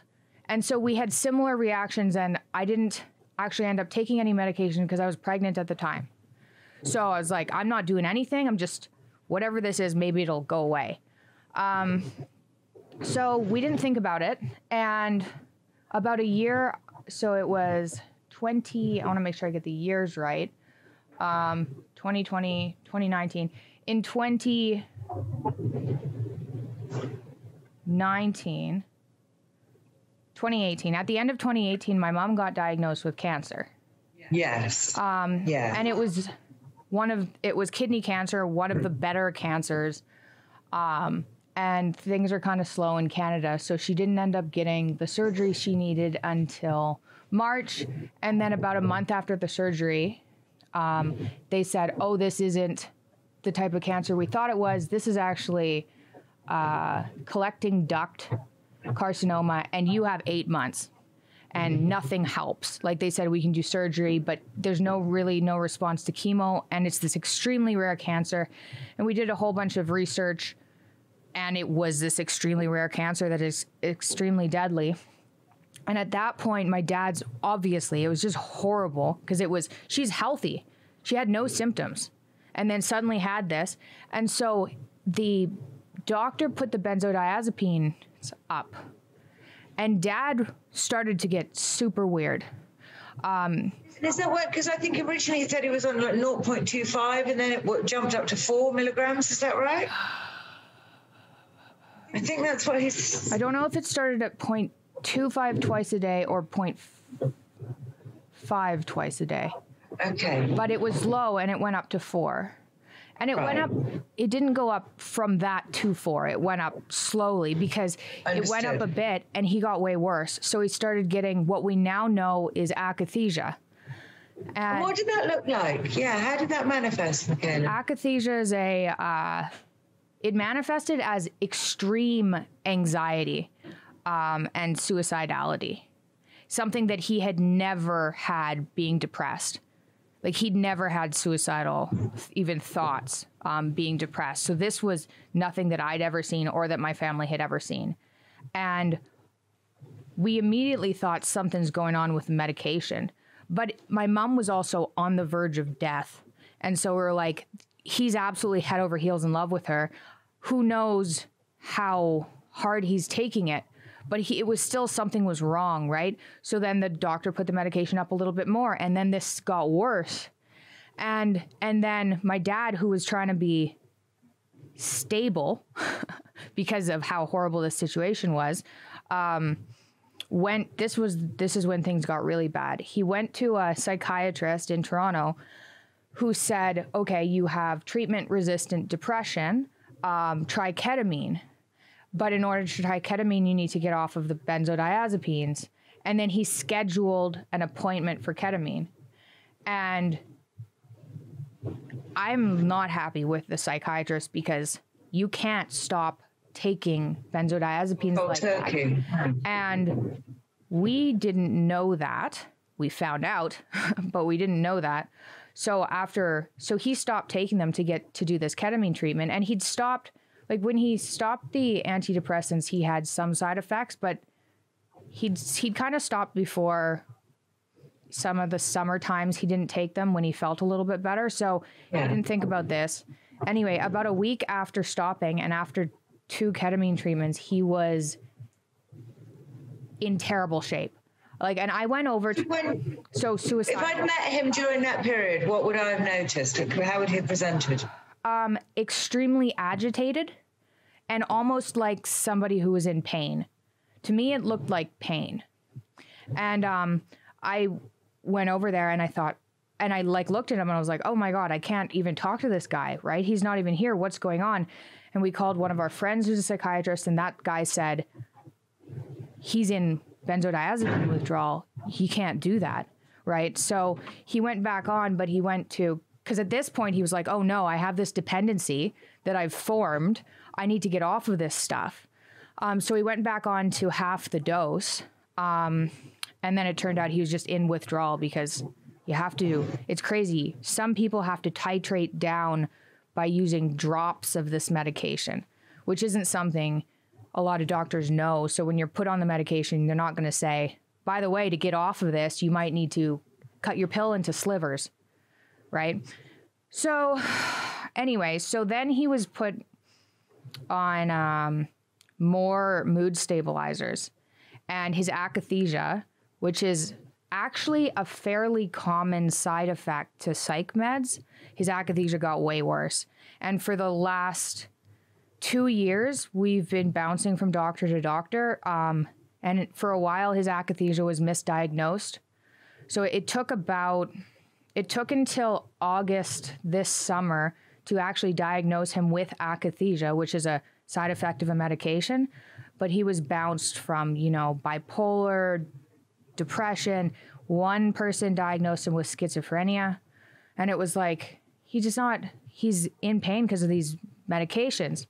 So he went to, this is in the news too. Um, we made kind of a family decision. It was like, these medications are harming you. You need to get off of them. But you can't seem to without this horrible withdrawal and worsening akathisia. So rehab. So he went to rehab in the States and they That was on the Eastern Seaboard, is that Eastern right? Seaboard, yeah. He um it was terrible. He ended up there for, I believe he was there September until November, Oh my goodness, he was there for two months. a month and a half. Yeah. oh, I see. Right. Okay. Yeah, or two months. Definitely September till November 2019. And he ended up on more medication coming out and in worse shape. Um, and so he went home and tried titrating down again. And again, ended up in such a. This akathisia was so bad. Akathisia makes people suicidal. It's this crawling feeling that's so bad. You can see people on YouTube trying to describe it. It's a crawling sensation that makes you not want to stop moving. Um, and so it's commonly misdiagnosed as schizophrenia because they don't know what it is. Um, and in order to treat schizophrenia, you get put on psych meds, and that causes worsening akathisia. So he was in he we uh, he was in a hospital in Toronto. He got back from the first rehab center, mm-hmm. and then his akathisia got worse when he tried to get off these medications. Plus, they had mm-hmm. added in two more, so he was in worse shape. So we hospitalized him because we were worried about his safety. Um, and it, I mean, you were worried that he would injure himself, that he would try, that he would hurt himself. Mm. and he was worried, right? Like, Really? oh yeah, it was really bad. And this is not like this isn't him, right? He's never had that kind of tendency, not even in in the least. So we're like something. This is really bad. So he was hospitalized here in a public hospital, and they diagnosed him with schizophrenia and doubled some of the medications. And so my family was there. And at this point, my grandparents had flown over, my uncle had flown over, and we were going, the medications are making him sick. Get him off of them. How do we get him off of them? And the hospital here said, it's schizophrenia. We should do ECT. ECT. Oh my God. Yeah, and he's there. So their entire position is that he has a psychiatric condition that they need to treat with drugs. Your entire position is that he has had psychiatric side effects from being given drugs he should not be on, Yeah. and the solution is to get him off the drugs, not to be giving Yeah. him. But you're at total cross oh, purposes Oh, at that really- the medical it was so bad and that like i can remember one of the conversations we had with this psychiatrist he goes, he goes well we think it's schizophrenia and i was like these symptoms didn't even start until he started the medications okay so you're telling me s- like a mid 50 year old man with no previous symptoms of schizophrenia suddenly gets schizophrenia which doesn't generally it generally happens late teens for men it's not like we're uneducated in these things, right? I was like, what? How about you remove the meds and just see if it's a side effect, given the fact it could be. And he, they wouldn't listen to us. So we called. This is my mom. This was just. I was worried my mom was going to get sick again. I was like, I don't know what causes cancer. I've been wondering what's been going on for your mum during this whole period, during that whole period in 2019. Back to that. She So she'd had the surgery, and then she obviously she had those terrible problems with lymphatic drainage. Okay, so she had the surgery and then they nicked a lymph duct. And so over the next month, it was like, why isn't mom healing? Why isn't mom healing? And she ended up emer- in emergency about six weeks after the first surgery. And in Canada, like we couldn't, we, we had to wait in emergency to see somebody, even though she just had the surgery. Um, and then she was in the hospital for a month. Um, she couldn't eat anything, so she was on TPN. She lost a Right. whole bunch of weight because she wasn't absorbing any nutrients. And it was just, it was like a horror movie. Like every day was like a horror movie. And they're like, we don't know what to do. We can't find the leak. Um, and so we ended up, thank goodness we had have money because we stayed there and they couldn't fix it. They couldn't fix it. Um, and we ended up flying down to um, flying down to the states, and then they did a, a surgery where they went in to try and find the leak, and they couldn't find it. So they injected this poppy seed dye that sometimes works, and it sealed the leak. And then she recovered in like, you know, not psychologically because she was it was traumatizing, but she recovered like in days as soon as the leak stopped. Um, but at that point, so that was August 2019. At that But at that point, that's when your dad's starting to be in real trouble. yeah, so he was akathisic like crazy. We didn't really understand what was going on because it's like, Dad, why are you so well suicidal and uncomfortable? Why can't you sit down? Things are okay now.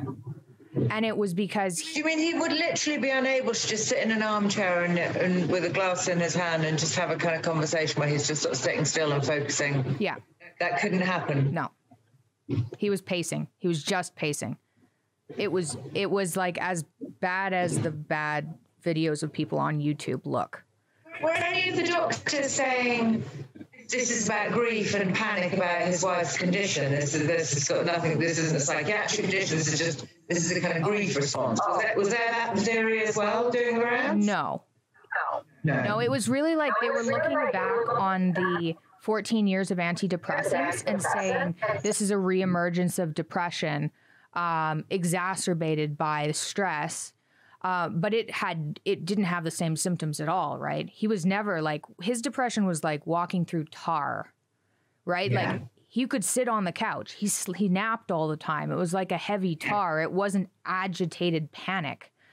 Yeah. So, so he's in this hospital in Toronto, and they they said we can't get him off the medications because he needs to be sedated because he's so agitated, because so that it increased everything. And at this point, he was he had this sensation to move, but he was so sedated that he couldn't move very well, and I couldn't hmm. communicate with him. Like my family and I couldn't communicate with him in this hospital very well, and they wanted to do ECT for schizophrenia, and so we started calling kind of rehab clinics um, around the world. We we contacted 57 places, my husband and I, because at this point, my mom, like I said, I was worried the stress was going to make her ill, and it was too much. And so we wrote down all the rehab centers we could write down, called them, and explained what was going on, and said he's on too many medications, he's having these side effects. Um, can you get rid of them? Uh, can you get rid of them? And m- everyone we called, except for two places, said, no, we have to stabilize him first. And I was like, the only thing these places use to stabilize people are like antipsychotics or benzodiazepines. And we're like, those are the problems. What do we do? So this one, this sounds absolutely insane, but this one place in Russia knew who dad was and was like, yeah, we do, we do detoxes. I was wondering when you were having these conversations with these 57 clinics, are you explaining who your father is? Is that part of the conversation, or do most of them have no idea? It's just I didn't I didn't explain at that point because we also didn't know we didn't know what was going on. We're like, this could go. We don't. We can't handle the media at the moment on top Yeah. of dealing with whatever the hell is going on. Um, so no, we we didn't tell anyone who they were until we'd had a number of conversations. But sorry, there were three Yeah. places. There was a place in Israel, a place in Serbia, and a place in Russia. And Israel has a very similar medical system to like a North American medical system. So when we talked to them a number of times after we got past the money, they said no, we'd have to stabilize him first. But don't worry, we can do that. But we'd already tried a number of psychiatrists in Canada and a rehab center in the US and a hospital in Canada. And no one had been able to stabilize him um, because it was akathisia. So uh, we went to Russia. Every like my whole family, like all my uh, my aunt and my uncle and my grandparents, we they all flew down over Christmas. My dad was in the hospital over Christmas um, in 2019, and and we talked to these guys in Russia, and we said, look, he can't wean down. These medications are killing him. We could do a detox. These guys say they could do it, but it's going to be you know, it's in Russia, first of all. Um, it's got to be dangerous because no one else will do it. So what do we do? Because, and so my family agreed, okay, let's give it a shot. Did everyone agree, or was there quite a lot of was that quite a complicated Christmas of just debating back and forth? No, at that point we'd tried a number of things. Like, you know, we got we got to the point, especially when we went to the rehab center in the states, because that was a high up. It was an up there rehab center. Um, and when that just made him worse, we were like, oh, well, what do we do? How do we get him off these things? Do we just do it ourselves? Do we just like keep him safe? But he was in so much pain from this akathisia that it's like, this isn't fair. Somebody who's like this should be like I can understand why they would sedate people because they need to be calmed down because it looks like pain or something. So we no at that point we didn't go to Russia until we were completely out of options, right? And we um we'd hoped that the hospital in Canada would help, but then they suggested keeping him on the meds and doing ECT and it was like that is not what his brain needs. He doesn't need to be zapped. He'll forget like the side effects. You can forget the last year or or two. And then what if it doesn't work? Because it's not going to because it's side effects. So we went to russia. My husband's russian. And that was the scariest thing i've ever done hands down by far. And he went we flew it was like a movie. We flew there on my birthday. We got there and the day we got there, they There's you, your husband, your your child, and your dad. Is that right? yeah, and a security. And was your dad able at that point to kind of walk and check in himself and navigate an airport, or No, did you feel very much that you were flying invalid? we took yeah, we took a private plane. Um, oh, did you? We took a private plane. Yeah, he was too Right. agitated. Okay.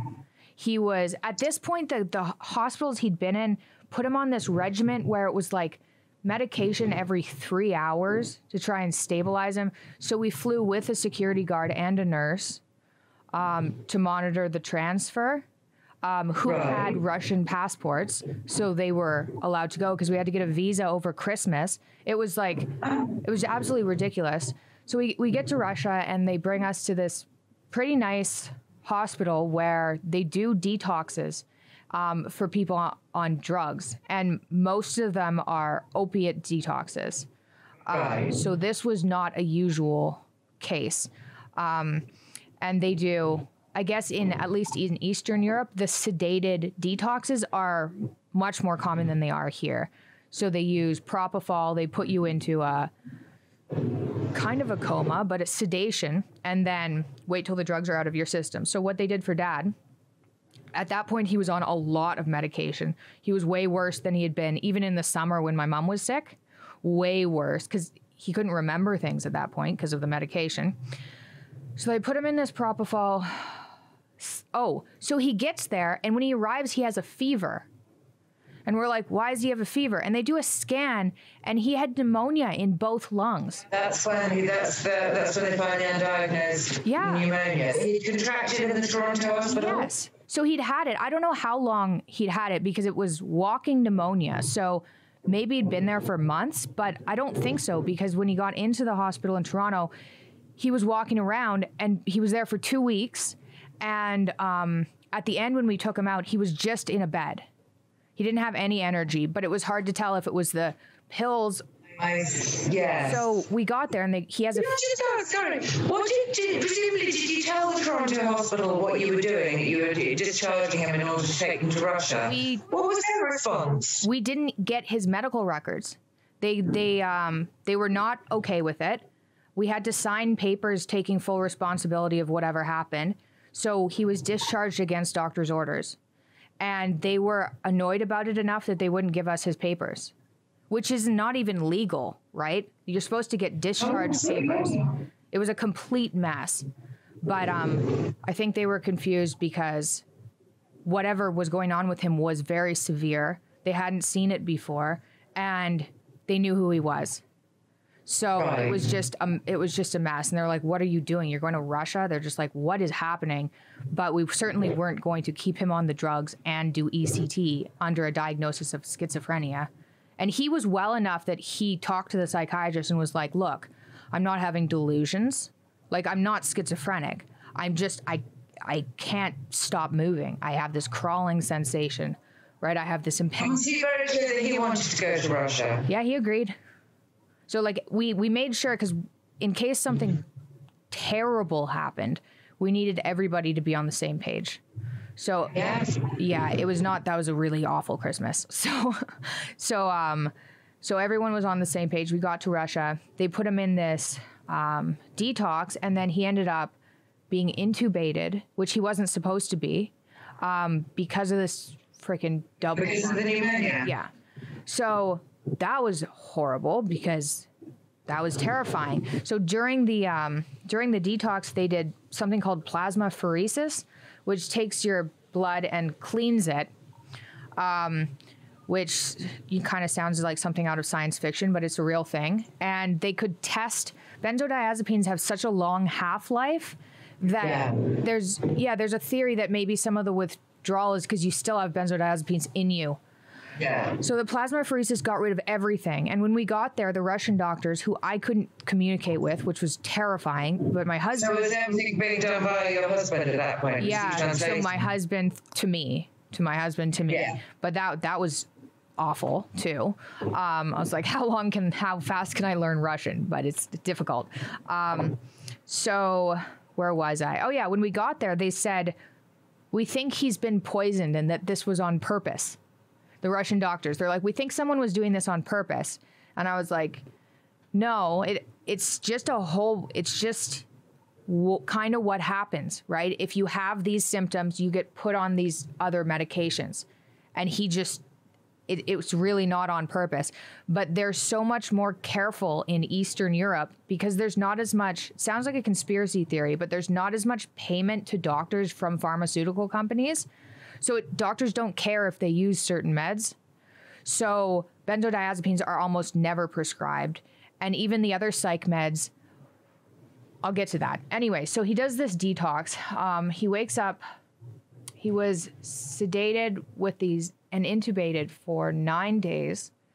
Um, I mean, well, what were you doing, Mikhaila? You, you sort of, where, where are you and your husband and child at that point? Okay, so we just shown up. We we stayed at a hotel for a couple of days, then got an Airbnb, then found us someone to help with Scarlett because we were spending time at the hospital, making sure everything was not being sketchy because it's Russia. I don't know. It didn't look sketchy, but you want to make sure it's not sketchy. So we. in good hands, or could you not really tell?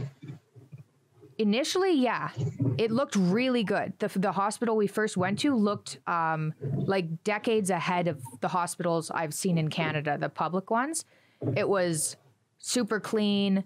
When you walked in, we we got there and you know, I can still communicate with dad. He's just in a lot of pain.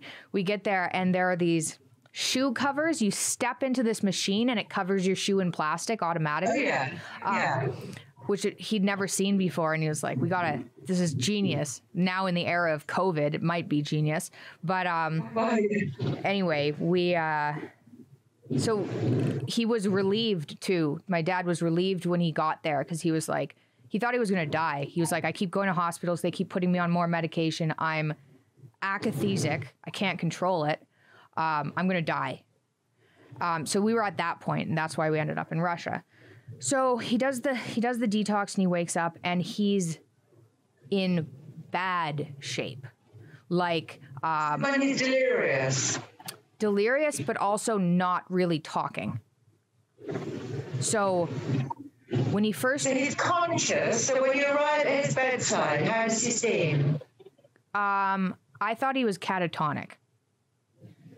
So bad. Really, really, really bad. Completely and utterly zoned out. so when, so. when he first woke up, he was there a little bit. Oh, actually, when he first first woke up, so this was nine days after, he told me uh, the akathisia is gone. That that was it um, the akathisia is gone. And I was like, okay, well, thank God for that because that's what was making him suicidal. The akathisia is gone. Um, and we couldn't, it was a hospital, so there were visiting hours, so we couldn't stay. We came the next day, and then he wasn't responding. He was catatonic. And I went to the, I couldn't communicate with the doctors. I went to the doctors and I was like, he needs, it's like, he needs to be stabilized, but don't use, you know, this array of medication, but something is really wrong. What's happening? What's going on? Um, and because realistically, these guys hadn't really done detoxes from a whole bunch of psych meds, they were used to dealing with people on opiates realistically. Yeah. Um, anyway, so he was he was catatonic and then he was delirious. So um, we came in the next day and he thought my husband was his old roommate. your husband was his old roommate? Yeah, who died. Um, oh my god! Oh, it, it, was horrible. So he. Oh. My Yeah. So I was like, he, you know, this is a huge problem. He needs to. they're not he's not being something's wrong and he's not being taken care of. Anyway, so the people Well, you must have been panicking at that point I lost thinking, hair. I was like, I, I'm the yeah, like I lost. I've got a whole bunch of hair extensions in. This is not this is not all me, but yeah, I've never been that stressed in my entire life. And my husband, obviously, we'd brought dad here, and it was like, what did the detox do? It was it too Yeah. hard on his brain? Like, um, it looked like it was going to take him like two years to recover if he was going to recover. It was it was really bad, and so he got transferred to a reanimatology clinic um, which is for people with severe like head trauma, basically.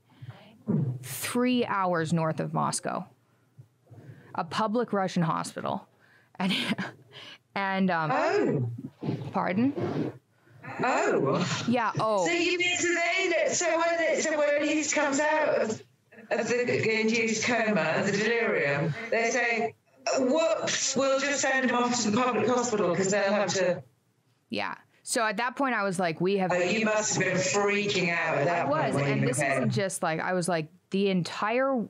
I'm fucked if this goes badly because the entire world is going to blame me.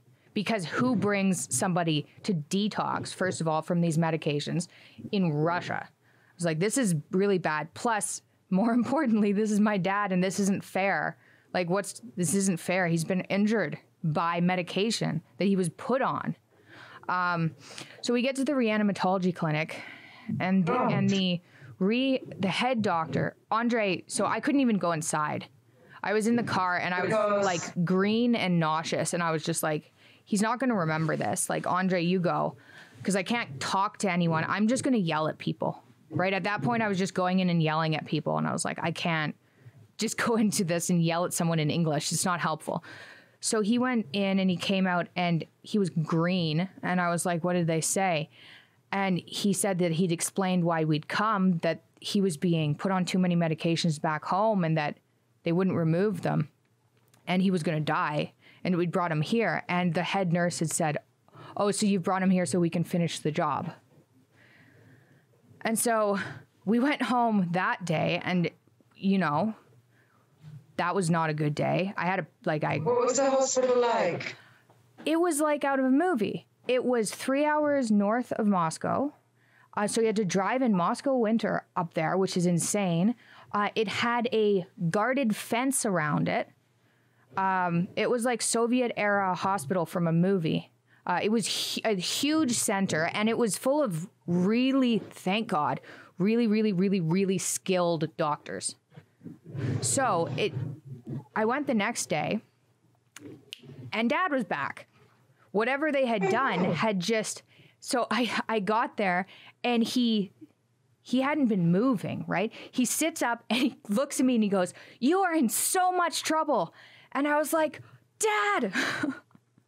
Dad, um, and he he was really confused by that response because he's like, I'm just yeah, I'm just mad at you, and you're just like happy to see me, and so we explained because he was still pretty out of it.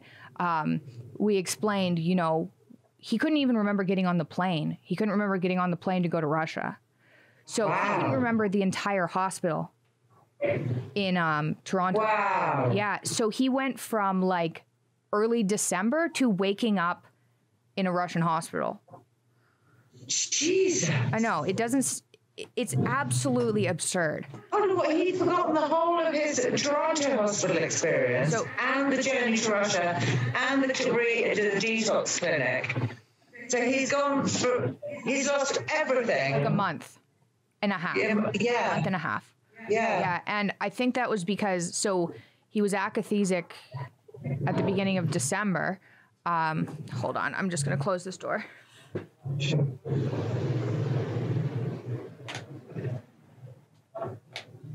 Um. Anyway, and then when he went into this hospital in Toronto, they had literally doubled some of the medications he was on um, to stabilize him, and and then he didn't remember anything after that. But what have they done in the public hospital in Russia? What have they done overnight Okay. to bring him back? So- what did they do? So they had they had given him when I looked at the list because I was like, did they give him a benzodiazepine? Like what exactly is going on here? Um, and they had given him a whole bunch of really low dose kind of everything. But most importantly, from what we learned, um, he was on using Dexdor, which is something they use for they use it for surgery to put. It's kind of like propofol. They use it to sedate people who are in a lot of pain or for surgery and to calm people down. But it's not a benzodiazepine or an antipsychotic or one of these sedative drugs. It's called Dexdor, dexmetadine, I think, in um, in the U.S. Uh, and so he was, he had this IV of Dexdor. Um, and then they they added in a whole bunch of vitamins. Like they just threw everything at him to try and get him to stabilize, but they didn't use benzodiazepines, which is yeah. at the time, which is what we were concerned about. Um, and over the next, you, he was like, "Okay, get me out of here, like right now." And I, oh, because we had to go the stupid hospital. It was there was no, in Russia, you can bribe people and it's a bit more loose with rules. And this hospital was like Soviet era. There was no staying over the time limit. Like, it didn't matter who you are, what you were offering. Um, so there were two hours of visiting. Were two hours of visiting hours um, a day. So we drove three hours there uh, to visit and then three hours home. And over the next, uh, I can't remember exactly. He was in there for, I believe, eight days. It wasn't very long thinking back on it, given the state he was in. But he every day was get me out of here, get me out of here, and it was like, well, Dad, you have to be able to walk. You have to because he couldn't walk at this point. He couldn't walk. No, and we don't know like why exactly. Right. Was uh, presumably that's what you want to understand what on earth has happened and why he is the way he is. Yeah, and even the people who'd done the detox were like, this isn't you know, we don't mm-hmm. know. And they had they were they had good doctors, but no one could explain why what had happened exactly. So the detox team had no idea about why he'd why he'd emerged in that way. Well, the, all they knew was that they were more familiar with detoxing opioids. Than, that's not exactly true. That's not exactly true. The head psychiatrist at this reanimatology clinic, they did MRIs and CT scans to try and figure out what was going on, to see if there was brain damage or anything. And they looked at the MRI and they said, "Oh, he has damage from the SSRIs." And I was like, what? And they're like, yeah, he has brain changes from the SSRIs because he was on the SSRIs for so long. And I was like, okay, whatever. Like I kind of just ignored that. Um, that comes into play a little bit later. So they did see brain changes. They didn't say brain damage. They said brain changes, um, but they couldn't really identify what was going on through scans, which was good. like nothing's really wrong. They said that there was a bit of ischemic damage, but it looked old so it really wasn't clear what had happened. Um, and so over the next eight days, he went from sitting up in bed to like shuffling to walking to basically running down the halls. And he was like, I'm, I'm getting out of here. He got off of the Dexdor in a in a week. And then when we left, when we left that place, we drove. So then he was going to the actual rehab center. Not that he was a rehab patient, but they did neurological rehab as well. So, and we had no, we couldn't bring him home. He needed too much care. Um, he was still like not not well. When we brought him out of that hospital, he could barely walk. He couldn't. He didn't really understand where his feet were. He said he's like I'm blind. Like I'm I'm blind with my feet. So he'd hit his feet on things. Um, he forgot how to type. So he put his hands on the keyboard and he's like, it's not there. I don't, I don't know how to type. And we were just like, Jesus, this is not good. like, this is really not good. Um, and so he went and stayed at the rehab center, which we, you know, drove. Is that the one in Florida? No, this was still in Russia. This is these okay. who would organize the detox. So this is now the third place in Russia, yes. you mean? So the first yeah, deal. So this is location number three in Russia. Yeah, location number three. The, the for the deal was he does the detox in a hospital and he moves to the rehab center. The the reanimatology clinic was not supposed to happen. He was not supposed. I understood. I see. So, that, so this was always where he was meant to be convalescing after the detox. Got you. Yes, exactly. So he's there, um, and we, I was carefully met monitoring the medication because I was like, I don't want. I know that these medications make him sick, so like remove everything that's not You know, he was on proton pump inhibitors. They'd added in a whole bunch of things, and I was like, he doesn't need a whole bunch of this stuff. I was going to say that what you're trying to do is get him off meds, not onto more, right? At Yeah, that point. and so that was annoying. But he ended up on, and here's where things get tricky. So he ended up on a very, very low dose of an antipsychotic um, to stabilize, um, and a very low dose of an antidepressant. Where, and we thought, okay, these are like tiny amounts. If that's what he needs to be stable, we can get rid of those later when we're at home, like whatever. So he's doing pretty good. He's getting better and better. We're going for walks. One of his friends flew out, got a visa, flew out, and stayed with him like all day because so that someone was there with him. We we talked to the rehab center. They were really they took a huge risk bringing him in there and they were really helpful with letting people stay and visit. But he was like i want to go home. This is russia. This is like scary. Um, and we wanted to go home and we thought okay we'll go to florida because he's not i didn't want to bring him back to toronto with mom because it was still too much work taking care of him. Like he needed nurses and things so we went to Florida, and then my brother came to visit and was like, "Oh my god, you know, Dad's better, like a lot better." So this had been a month. It was horrible. At this point, you know, would your dad wake up in the morning, kind of walk to breakfast, read the papers, send some emails? Was it that level of function or not really? No, he was staying in bed until mid afternoon, but then he'd get up and swim. He was barbecuing, right? So, and, but he was like kind of quieter than than normal and a little bit slower than he should be. Slower and more muted. Yeah, Right. and muted. Yeah, and I was like, okay, well, he'll. I'm more comfortable that he'll recover now, but something's a bit off. So we're there for a week and a half, and the akathisia comes back, and we're like, Oh, God. oh god, it was so, Oh, it was so God. awful. He, uh, yeah, he called me and.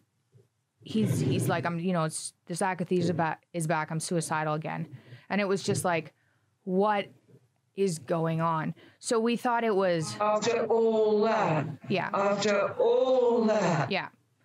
And it was like, why? It was gone. It was gone nine days after all the medications left. Like it just started to like what what's going on? And I thought, it's the medications. It's got to be the medications. Even this very low dose anti was it um, antidepressant and antipsychotic, yeah. Um, but we were also getting information from doctors that this could be like protracted benzodiazepine withdrawal that just popped up now. So really? Yeah. It, it wasn't. It turns out it was akathisia from the medication. But um, we didn't know that. And so at that point, we're like, well, what do we do? We've already called at the hospitals in the, the US, and if we bring him there when he's akathisic, they're going to put him on meds. They've already, they've straight up told us that. It's like, we're not going back to Russia. Thanks. Um, I was like, w- you know, what do we do now? So we thought maybe it'll just go away maybe this is protracted benzodiazepine withdrawal and it'll just go away.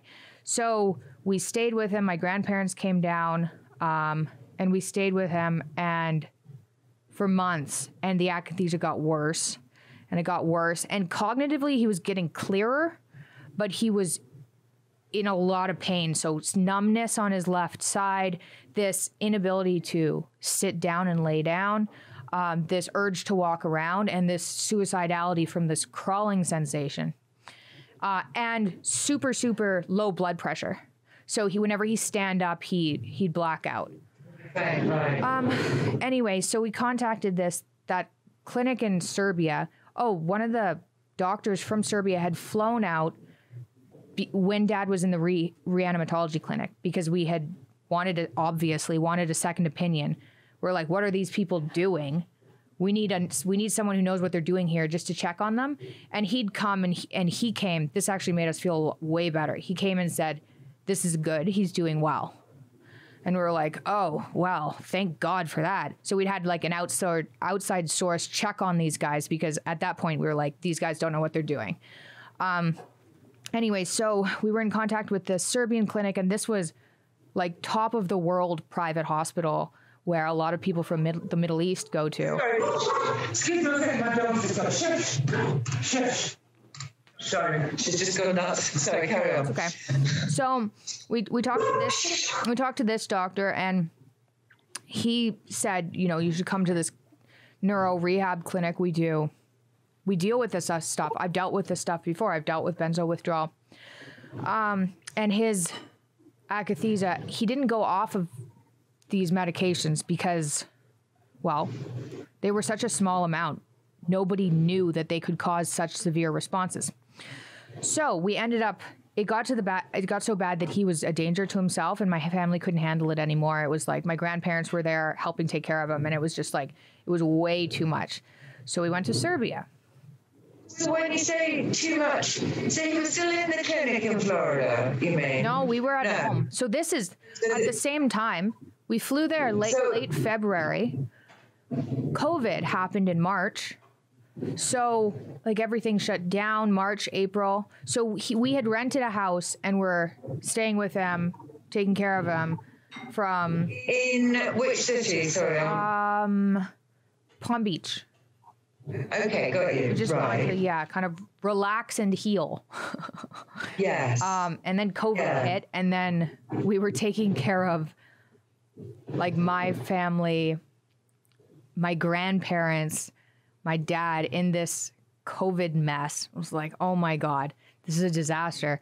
So, anyway, months passed, like horrible months passed. He's so you're all in this house in Palm Beach, kind of pretty much in semi-lockdown, trying to look after your dad, and he's getting worse, and we have no idea why.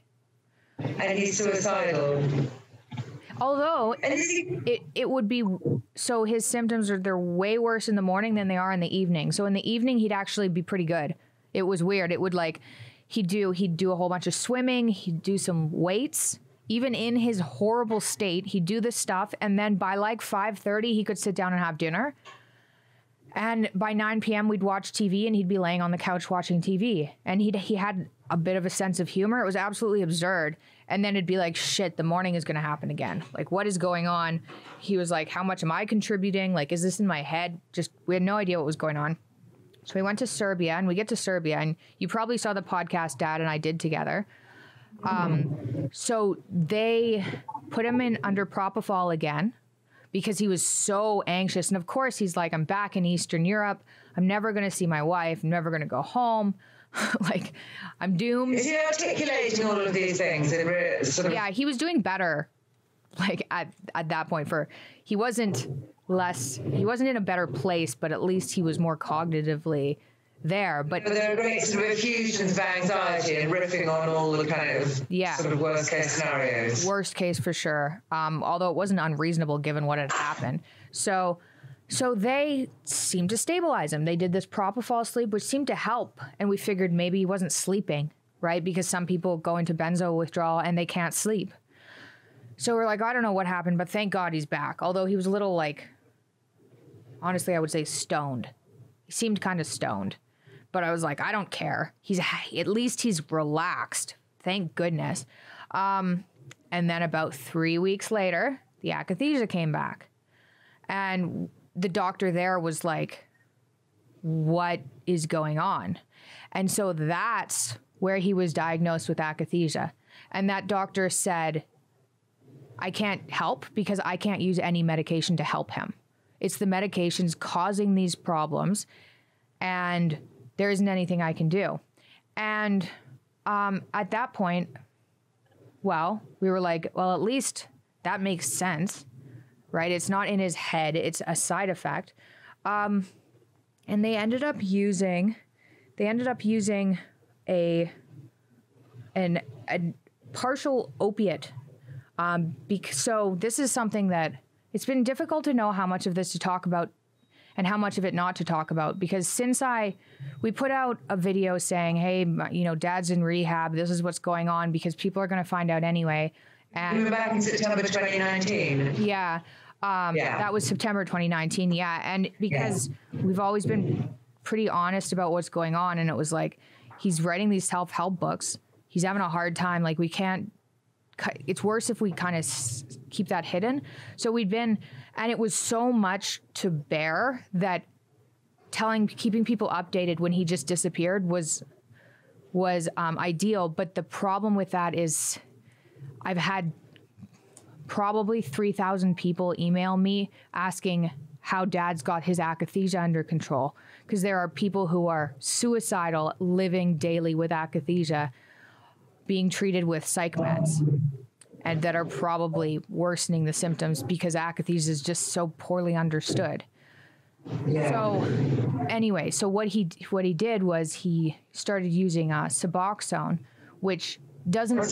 It's it's like a it's a partial opiate, and technically they use it to treat people who are addicted to opiates to get them off of it, um, which obviously wasn't his problem. But it also has calming properties, and it's used to treat akathisia. Okay. Yeah. So if you, there are studies online too. If you find someone who really knows what they're doing, um, they can safely use opiates to treat akathisia because you can't use any of the other sedating drugs. Like any of the psych meds can trigger it. SSRIs, SNRIs, antipsychotics really, really can. Benzodiazepines. Which is what you've been prescribed. Like, like he tried all of them. So um, the Serbian clinic had tried everything. It was insane. They tried everything because they had stabilized him initially, but it turns out akathisia is a little bit more complicated. It's delayed, so it doesn't happen necessarily. It doesn't necessarily happen as soon as you take the medication. For my dad, it happens three weeks later. Right. So that that's why he kept getting better, and then the akathisia would come back. I better, see. the akathisia would come back. So um, so when we were in Serbia for three months trying to stabilize him, because this doctor is just like, I can't believe this because it, it's fairly rare, and his was so severe that it was very rare. Um, and he, so we ended up flying him home. Um, I, I came home actually to organize the transfer. My husband stayed there with him. Um, we got COVID when we were there. That's not even like that. Yes. That's I. Did you? Did you? Did I understand that you and your husband and daughter moved into the hospital? Okay, so. And then caught it in the hospital. Is that correct, or have I got that wrong? I don't know where we caught it from, but um, so when we got to Serbia, Serbia is interesting. It was completely open, completely open. So going from the states to Serbia was like whoa, and the government had said there are no COVID cases there. I remember when Serbia had that sort of golden zone, golden zone, yeah. Yeah, and we were so not like because my dad was, we weren't concerned. COVID was like least on our list of problems. Um, so anyway, then, then elections happened. There were, and then they shut down the country. Like days after elections, they were like, "Oh, COVID is everywhere." Um, mandatory quarantine, and then there were riots. Um, my nanny at that point got hit on the outskirt of a cr- outskirt of a crowd with tear gas um, oh, because of the riots. Because people were like, "Hey, you said there was no COVID, and now it's everywhere," and you just like their elections are a little off. So, so we we all it was either quarantine at home and not see dad at all or quarantine in the hospital. Yeah. And at this point, so, see, yeah. Yeah. So we were, I was like, no freaking way are we doing that. So we stayed in a in a room in the hospital and 11 days into quarantine, my daughter probably was the first one to get symptoms. She just had an upset stomach. And then my nanny had an upset stomach. And then I had an upset stomach, but it was like, whatever. It's like an upset stomach. It's not that bad. So quarantine was over.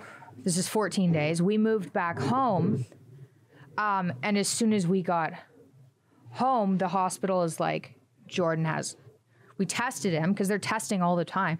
Jordan has COVID. And we're still all sick, right? But we're like, no freaking way. Like, are you kidding me? So we all got COVID, including my nanny. Everyone at the hospital got COVID. Um, Igor, the head guy of the hospital, he'd already had COVID. Like a, lot of people had had antibodies already there. Um, and then they treated dad preemptively.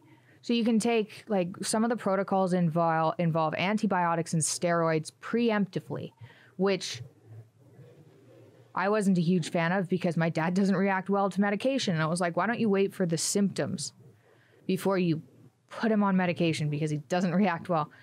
Um, so they ended up using. So we weren't allowed to go visit him because he was in like we weren't allowed to go visit him for five days and i got there and he was in the worst shape like i he was just he was so agitated it was hard to believe and and Sort of give give an example of how that would. Do you mean he was sort of physically agitated, but sort of facially agitated? Do you mean when he was talking, he was. facial moaning like um the easiest way honestly there are videos of people with akathisia on youtube. It looks like that. So it was bad and everyone in the hospital was freaked out. Um, and i was like there's because he was way worse than he was a week ago. Um, and i was like oh my god are they using fluoroquinolones? Because at this point i've I've read so much on this stuff. It's absolutely absurd. And I know that there's a class of antibiotics that you're not supposed to give to people who are in benzo withdrawal because it's called fluoroquinolones. And I was like, please, like, please let them not be using fluoroquinolones. Turns out they were using fluoroquinolones, and the side, the interaction is not very well read, well known. It's, it's just absurd that these things kept happening. They don't use fluoroquinolones as much in the states because they have side effects um, people can get like poisoned from them. They're they're just a intense class of antibiotics. So he turns out he was on fluoroquinolones, and I flipped and was like, "We're pulling him out now, even though it wasn't safe because he was akathisic." I was like, "We're pulling him out now unless you stop the fluoroquinolones, like now." Um, and Andre talked to the head doctor, who was also really stressed out at this point because it's like, what am I doing wrong? I've tried everything. And he was a really good guy. He's probably the best doctor I've met. Um, but he was super stressed out. He was pissed off being questioned. Um, but he did drop the fluoroquinolones, and dad got a lot better really quickly. So, God. but th- so this was after we'd recorded this freaking podcast being like, hey, I'm stably doing better. And then got like Yeah. COVID and akathisia, and I was like, was like, oh my god, this again. So anyway, he's after that he was put on Suboxone. The Suboxone helped a lot with the akathisia, but it was still kind of there. We go home. So it's September. So he's home finally. Um, we'd left in January. It's September. We hadn't been home for nine months. Yes. Yeah. Um, he's home. So he hasn't seen your mom in nine months. Mom came. Mom came to Florida to visit. Okay. um, and then went home. And we're trying to keep her stress levels very low because of how sick she was. It was just like exactly. he didn't want, you know, it was better for her to not see this. Um, so she came to visit in Florida, and she also came. This was so. This was really hard on Dad. This was really hard on everybody. Uh, she came to Serbia, and literally the day after she arrived, um, they locked everything down. And the head of the hospital said, "We're going into quarantine, and you should go home because you've had cancer. You're at a high, higher risk. You should go home." And it, we were. I was so angry because I was like, Dad was so looking forward to seeing her, and then it was like, "You got to go home." Two days. Jeez. But we did end up getting COVID, and she didn't. So he was Yeah. probably right about that, to be honest. Yeah. Um, at the time, it didn't feel good, but we did end up getting COVID, and she didn't. So, Yeah. um, so anyway, we get home, and he's doing like he's still not in good shape. He's waking up late.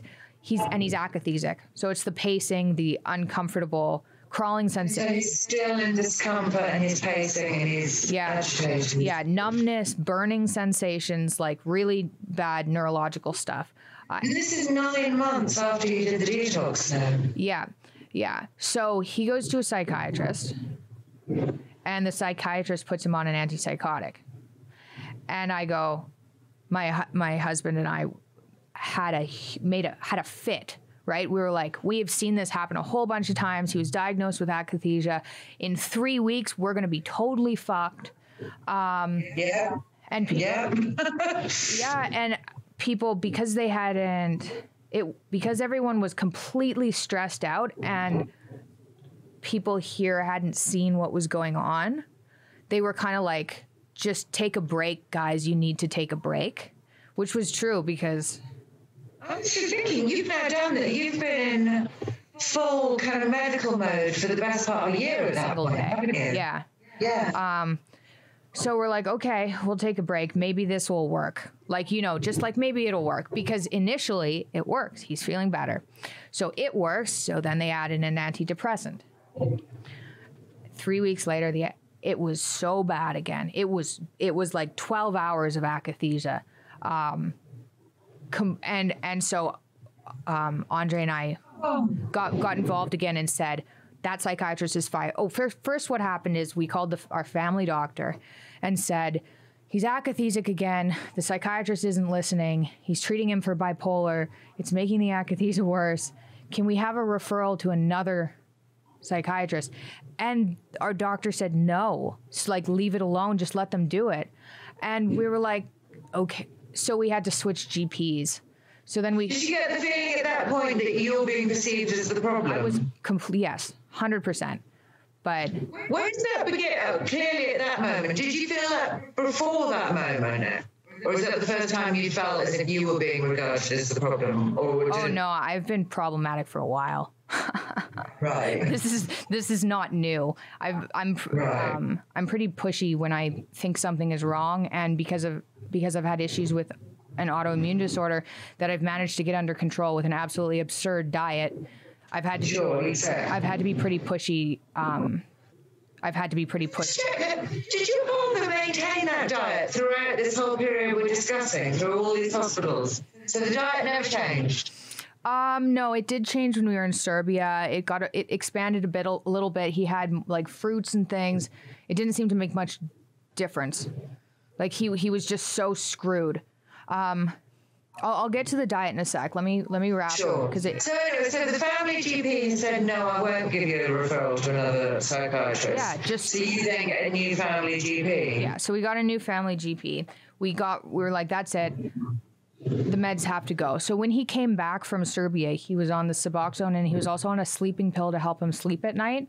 And at this point, we're like, everything has to go because it turns out you can get akathisia from like every everything and s- sleeping pills like antipsychotics, antidepressants, benzodiazepines, opiates much much rarer. But um those ones. So we're like, okay, maybe when he came back from Serbia because he was still on the sleeping pill, that was giving him this underlying akathisia and then it was made worse by these two new other drugs. So anyway, um over the next 2 week period, uh, with this other GP, everything was removed except for Suboxone. Um, and he slowly got better, but it was not fast and it was really quite bad. But it was instead of 12 hours, it was eight hours, and then it was like six hours. But even a minute of this akathisia makes people insane because it's so uncomfortable. So it was still like hours a day, and he'd go to bed and he'd be like, "Oh my god, I feel normal. It's going to happen again in the morning." So at that point, I went on this rampage and I contacted. I'd done this before, but I did a new search now that I knew that we were looking for akathisia to try and find akathisia experts. And I found one in Vancouver and in the UK. So all the way up until this point, when, uh, when it was diagnosed in Serbia as akathisia, what were you calling it before then? Benzodiazepine withdrawal. Got you. Got you. Yeah. So akathisia because of benzodiazepine withdrawal, not akathisia because of psych meds, which is what it was. So anyway, so we do a whole bunch. I do a whole bunch of consultations with I talked to five different specialists, akathisia specialists, um, and tell them the whole story. I had typed up like 12 pages of medical notes with everything that had happened, sent them all over to these akathisia specialists, and it's just like, plus I was getting thousands of emails from people telling me what worked for them. So there's a lot of information, and I. Um, I had dad do a couple of consults with these doctors, and we finally found this akathisia specialist who goes, So it turns out people who take SSRIs for a very, very long time, especially if it's at a high dose, if they stop taking it, not only can they have protracted withdrawal, which causes insomnia, impending doom, panic. Um, people usually treat that by going sugar free and low carb because they're so sensitive. Their brain is so sensitive that it reacts to um, chemicals, light, uh, smell, and high carbs like sugar. And so I th- we thought, okay, that maybe that's why when we went low carb because we were eating meat, right? Because everything else was causing this horrible impending doom. I was like, maybe that was SSRI withdrawal. And so this the psychiatrist um, said, yeah, that's that's from the SSRI withdrawal. And the interesting thing is, I had that similar. So I went on this meat diet and I stopped taking SSRIs that I've been taking for 11 years. And I had these reactions with carbs that were just absolutely horribly absurd. Um, and they don't happen anymore. So I still have an autoimmune disorder that I have to deal with, but these impending doom insomnia reactions stopped happening. Um, and a lot of people I've talked to who do this meat diet are getting off of meds. And so I think it must have something to do with that. And according to this psychiatrist, you can go on a low carb diet to help ameliorate some of these uh, psych side effects. So apparently, people who are on SSRIs for a long time, if they start up again on a benzodiazepine or an antipsychotic, they're way more likely to get akathisia than the general public. I see. So he looked at the case and he said, "Yeah, he took those for 14 years.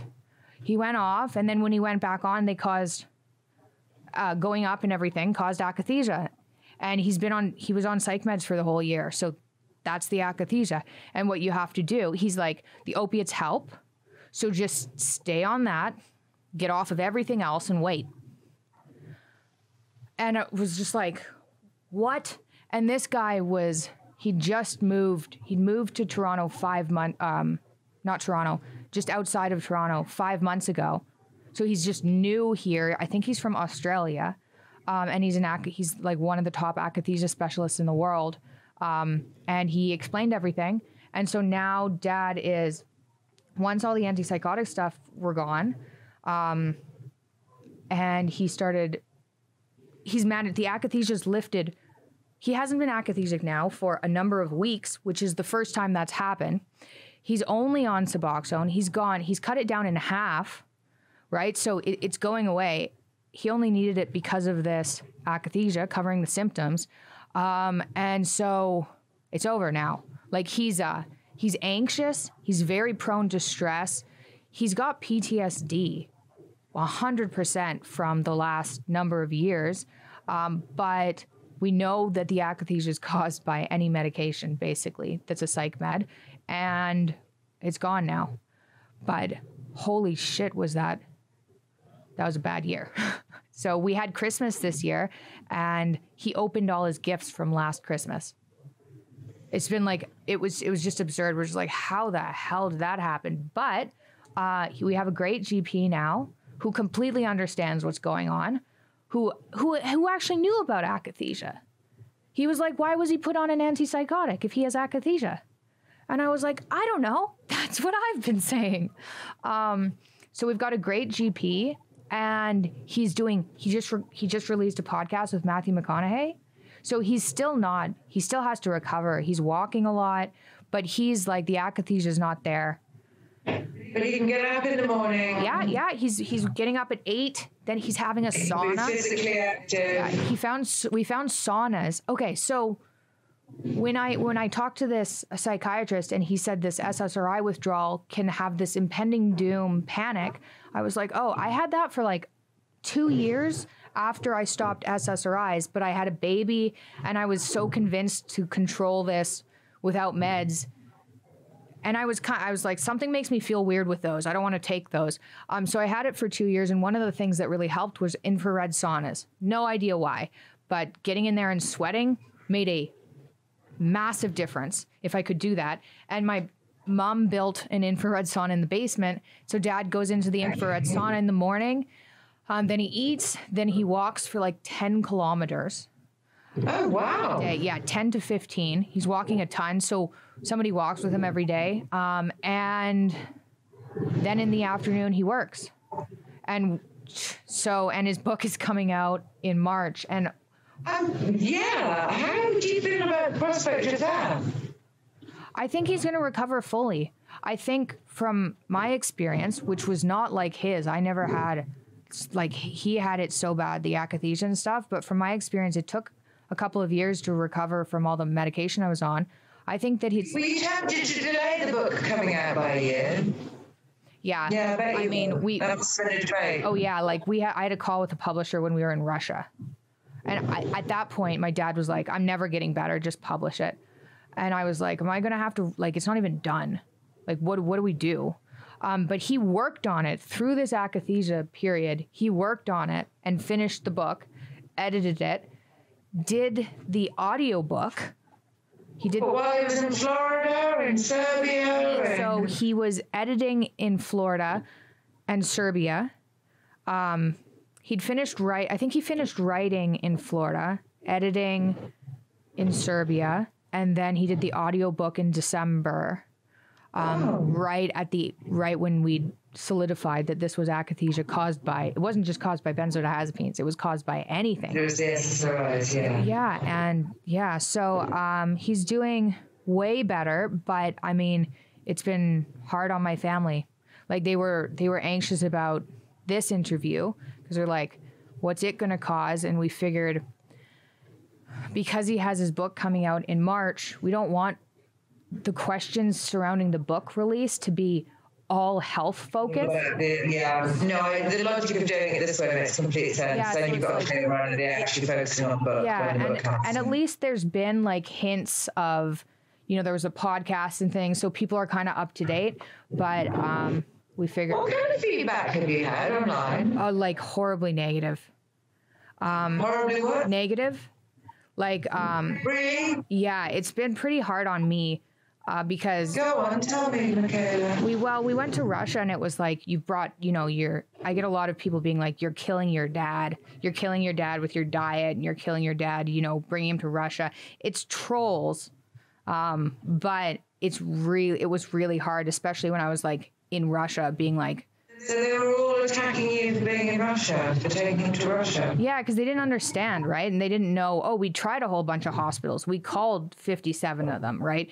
We went to one of the top rehab centers in the states. We went to a hospital in canada. Like they did they were just like you just brought him to russia which like yeah i get it. And then people don't care if you're uh, removed but um it's been hard so part of the reason yeah it's been really hard. And of course there's a lot of there's a lot of support too which like jordan's back like thanks for the help there. Um, but you always see, see the negative more. And it's pretty easy to make it a negative story because i already have this weird you only eat meat diet. Um, although i was really using that to treat health ser- serious health problems. And so is dad. It's not like i force feed him right? It's, it's up to him what he does. But um, it's an easy story to twist because it's like all meat diet goes to Russia for a detox that you're not supposed to do on these medications. I get it, but it has been hard because of how stressful the year's been anyway. Unbelievably so. And there's the whole family who've kind of been united about what the best thing to do is at each point. I imagine that that feels optimistic. I mean, families are difficult. We're we're good now, but it's been hard throughout the whole thing because for part of it part of it they like I we had certain family members that were like it does look like an underlying problem. He was depressed. It is an underlying problem. And so there were Yeah. times when it was just me being like this is medication. These are side effects. But then all the doctors are also saying it's an underlying problems. And you put any family under a whole bunch of stress and people snap. So now it's like things are so much better now. Everyone is like thankful and happy and just recovering because we are like weeks into finally figuring out what the issue was. If it had been as simple as benzodiazepine withdrawal, I think he would have been better in March. exactly. But because they Yeah. stabilized him on this, it was such a low dose too. Like it's I had nobody had any idea, including the doctors, and that these kind of small amounts can trigger such terrible symptoms with people. And then I've had so many people reach out. Um, mirtazapine is the other thing. So eventually, Suboxone and mirtazapine, and mirtazapine is a medication that's used to treat akathisia. There are a whole bunch of medications used to treat akathisia. All of them gave him akathisia, except for mirtazapine. So that's been like a godsend. Jesus. Yep, What about your mum's health, Mikhaila? Where, what's her prognosis? good. She's get like she's not getting like you know you after you have cancer you have to get checked every three months and things. Yeah. those are I think at six month points now. So she's, Okay, and good. and she's like she's doing really given what's happened and how traumatizing it's been. Like she's doing really well. So and my brother had a baby. Like we've m- made it through and things are going to be really good.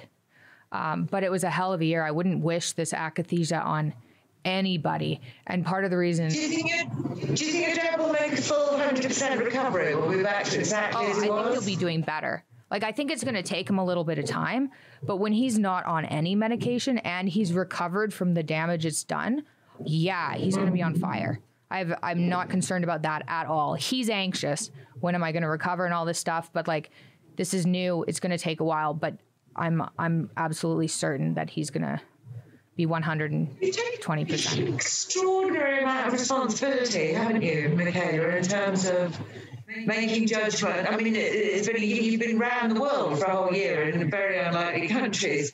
But with it, you know, with a young family, but just on an emotional level, to be the re- responsible for making these decisions, that must have been exhausting and a bit terrifying, wasn't it? Yeah, it was horrible. You don't have sort of medical training, so you're having to.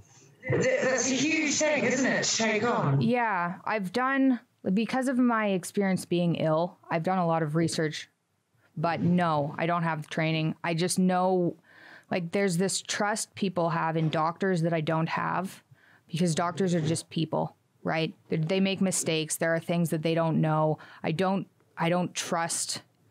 Uh, and from the reaction I've had to medications, the doctors have said that's not possible, and I, I've had it. I know. I know it. So when I saw how hard it was on my mom, and I was like, there, my family ha- didn't know what to do other than to leave him in the hospital for ECT. They didn't want to do that. They said no, but we don't know what to do. No to that, but we don't know what to do. We don't know where to go. Like, what are the options? And I thought, okay, I'm I'm in a pretty good place. Like, I could handle this for a while. I'm completely burnt out now. Um, and it was like worse. I was hoping it would be a smoother ride. I was hoping we'd go there, it would go easily, and we'd be back in six months or three months um, with dad better. But like, turns out it took a year. But at least we're here. Um, but yeah, it was stressful. I definitely do not recommend any of the last year. No, I can well imagine. It's an extraordinary tale, isn't it? Yeah, it's It really, really I. I wrote it down like I was keeping notes because I was just like, this is absolutely absurd. Yeah, it's an amazing, amazing tale. I'm just looking briefly at my notes see if there's anything that I meant to ask you there. Um, but I think that was incredibly comprehensive. Uh, yeah. Yeah, I'm good. Um, Okay. Well, thank, Thank you. Thank you. And yeah, Can I ask if, after I've interviewed your father tomorrow, if there's anything else that I said, anything, oh God, I should have asked you this or that, would it be okay if I drop you an email yeah. and pick up anything that's still that's unanswered? Yep, for sure. We're we're just looking we're looking to Dad was hoping, I don't know what the article's going to be like. He's hoping it's not going to focus entirely on health. I said that I read the other stories and some of them were pretty health focused. So we'll, we'll see what he says tomorrow cuz he's trying to, you know, get past this, but we thought if people understood what happened and the reasoning Yeah. behind things, then we could just let it be.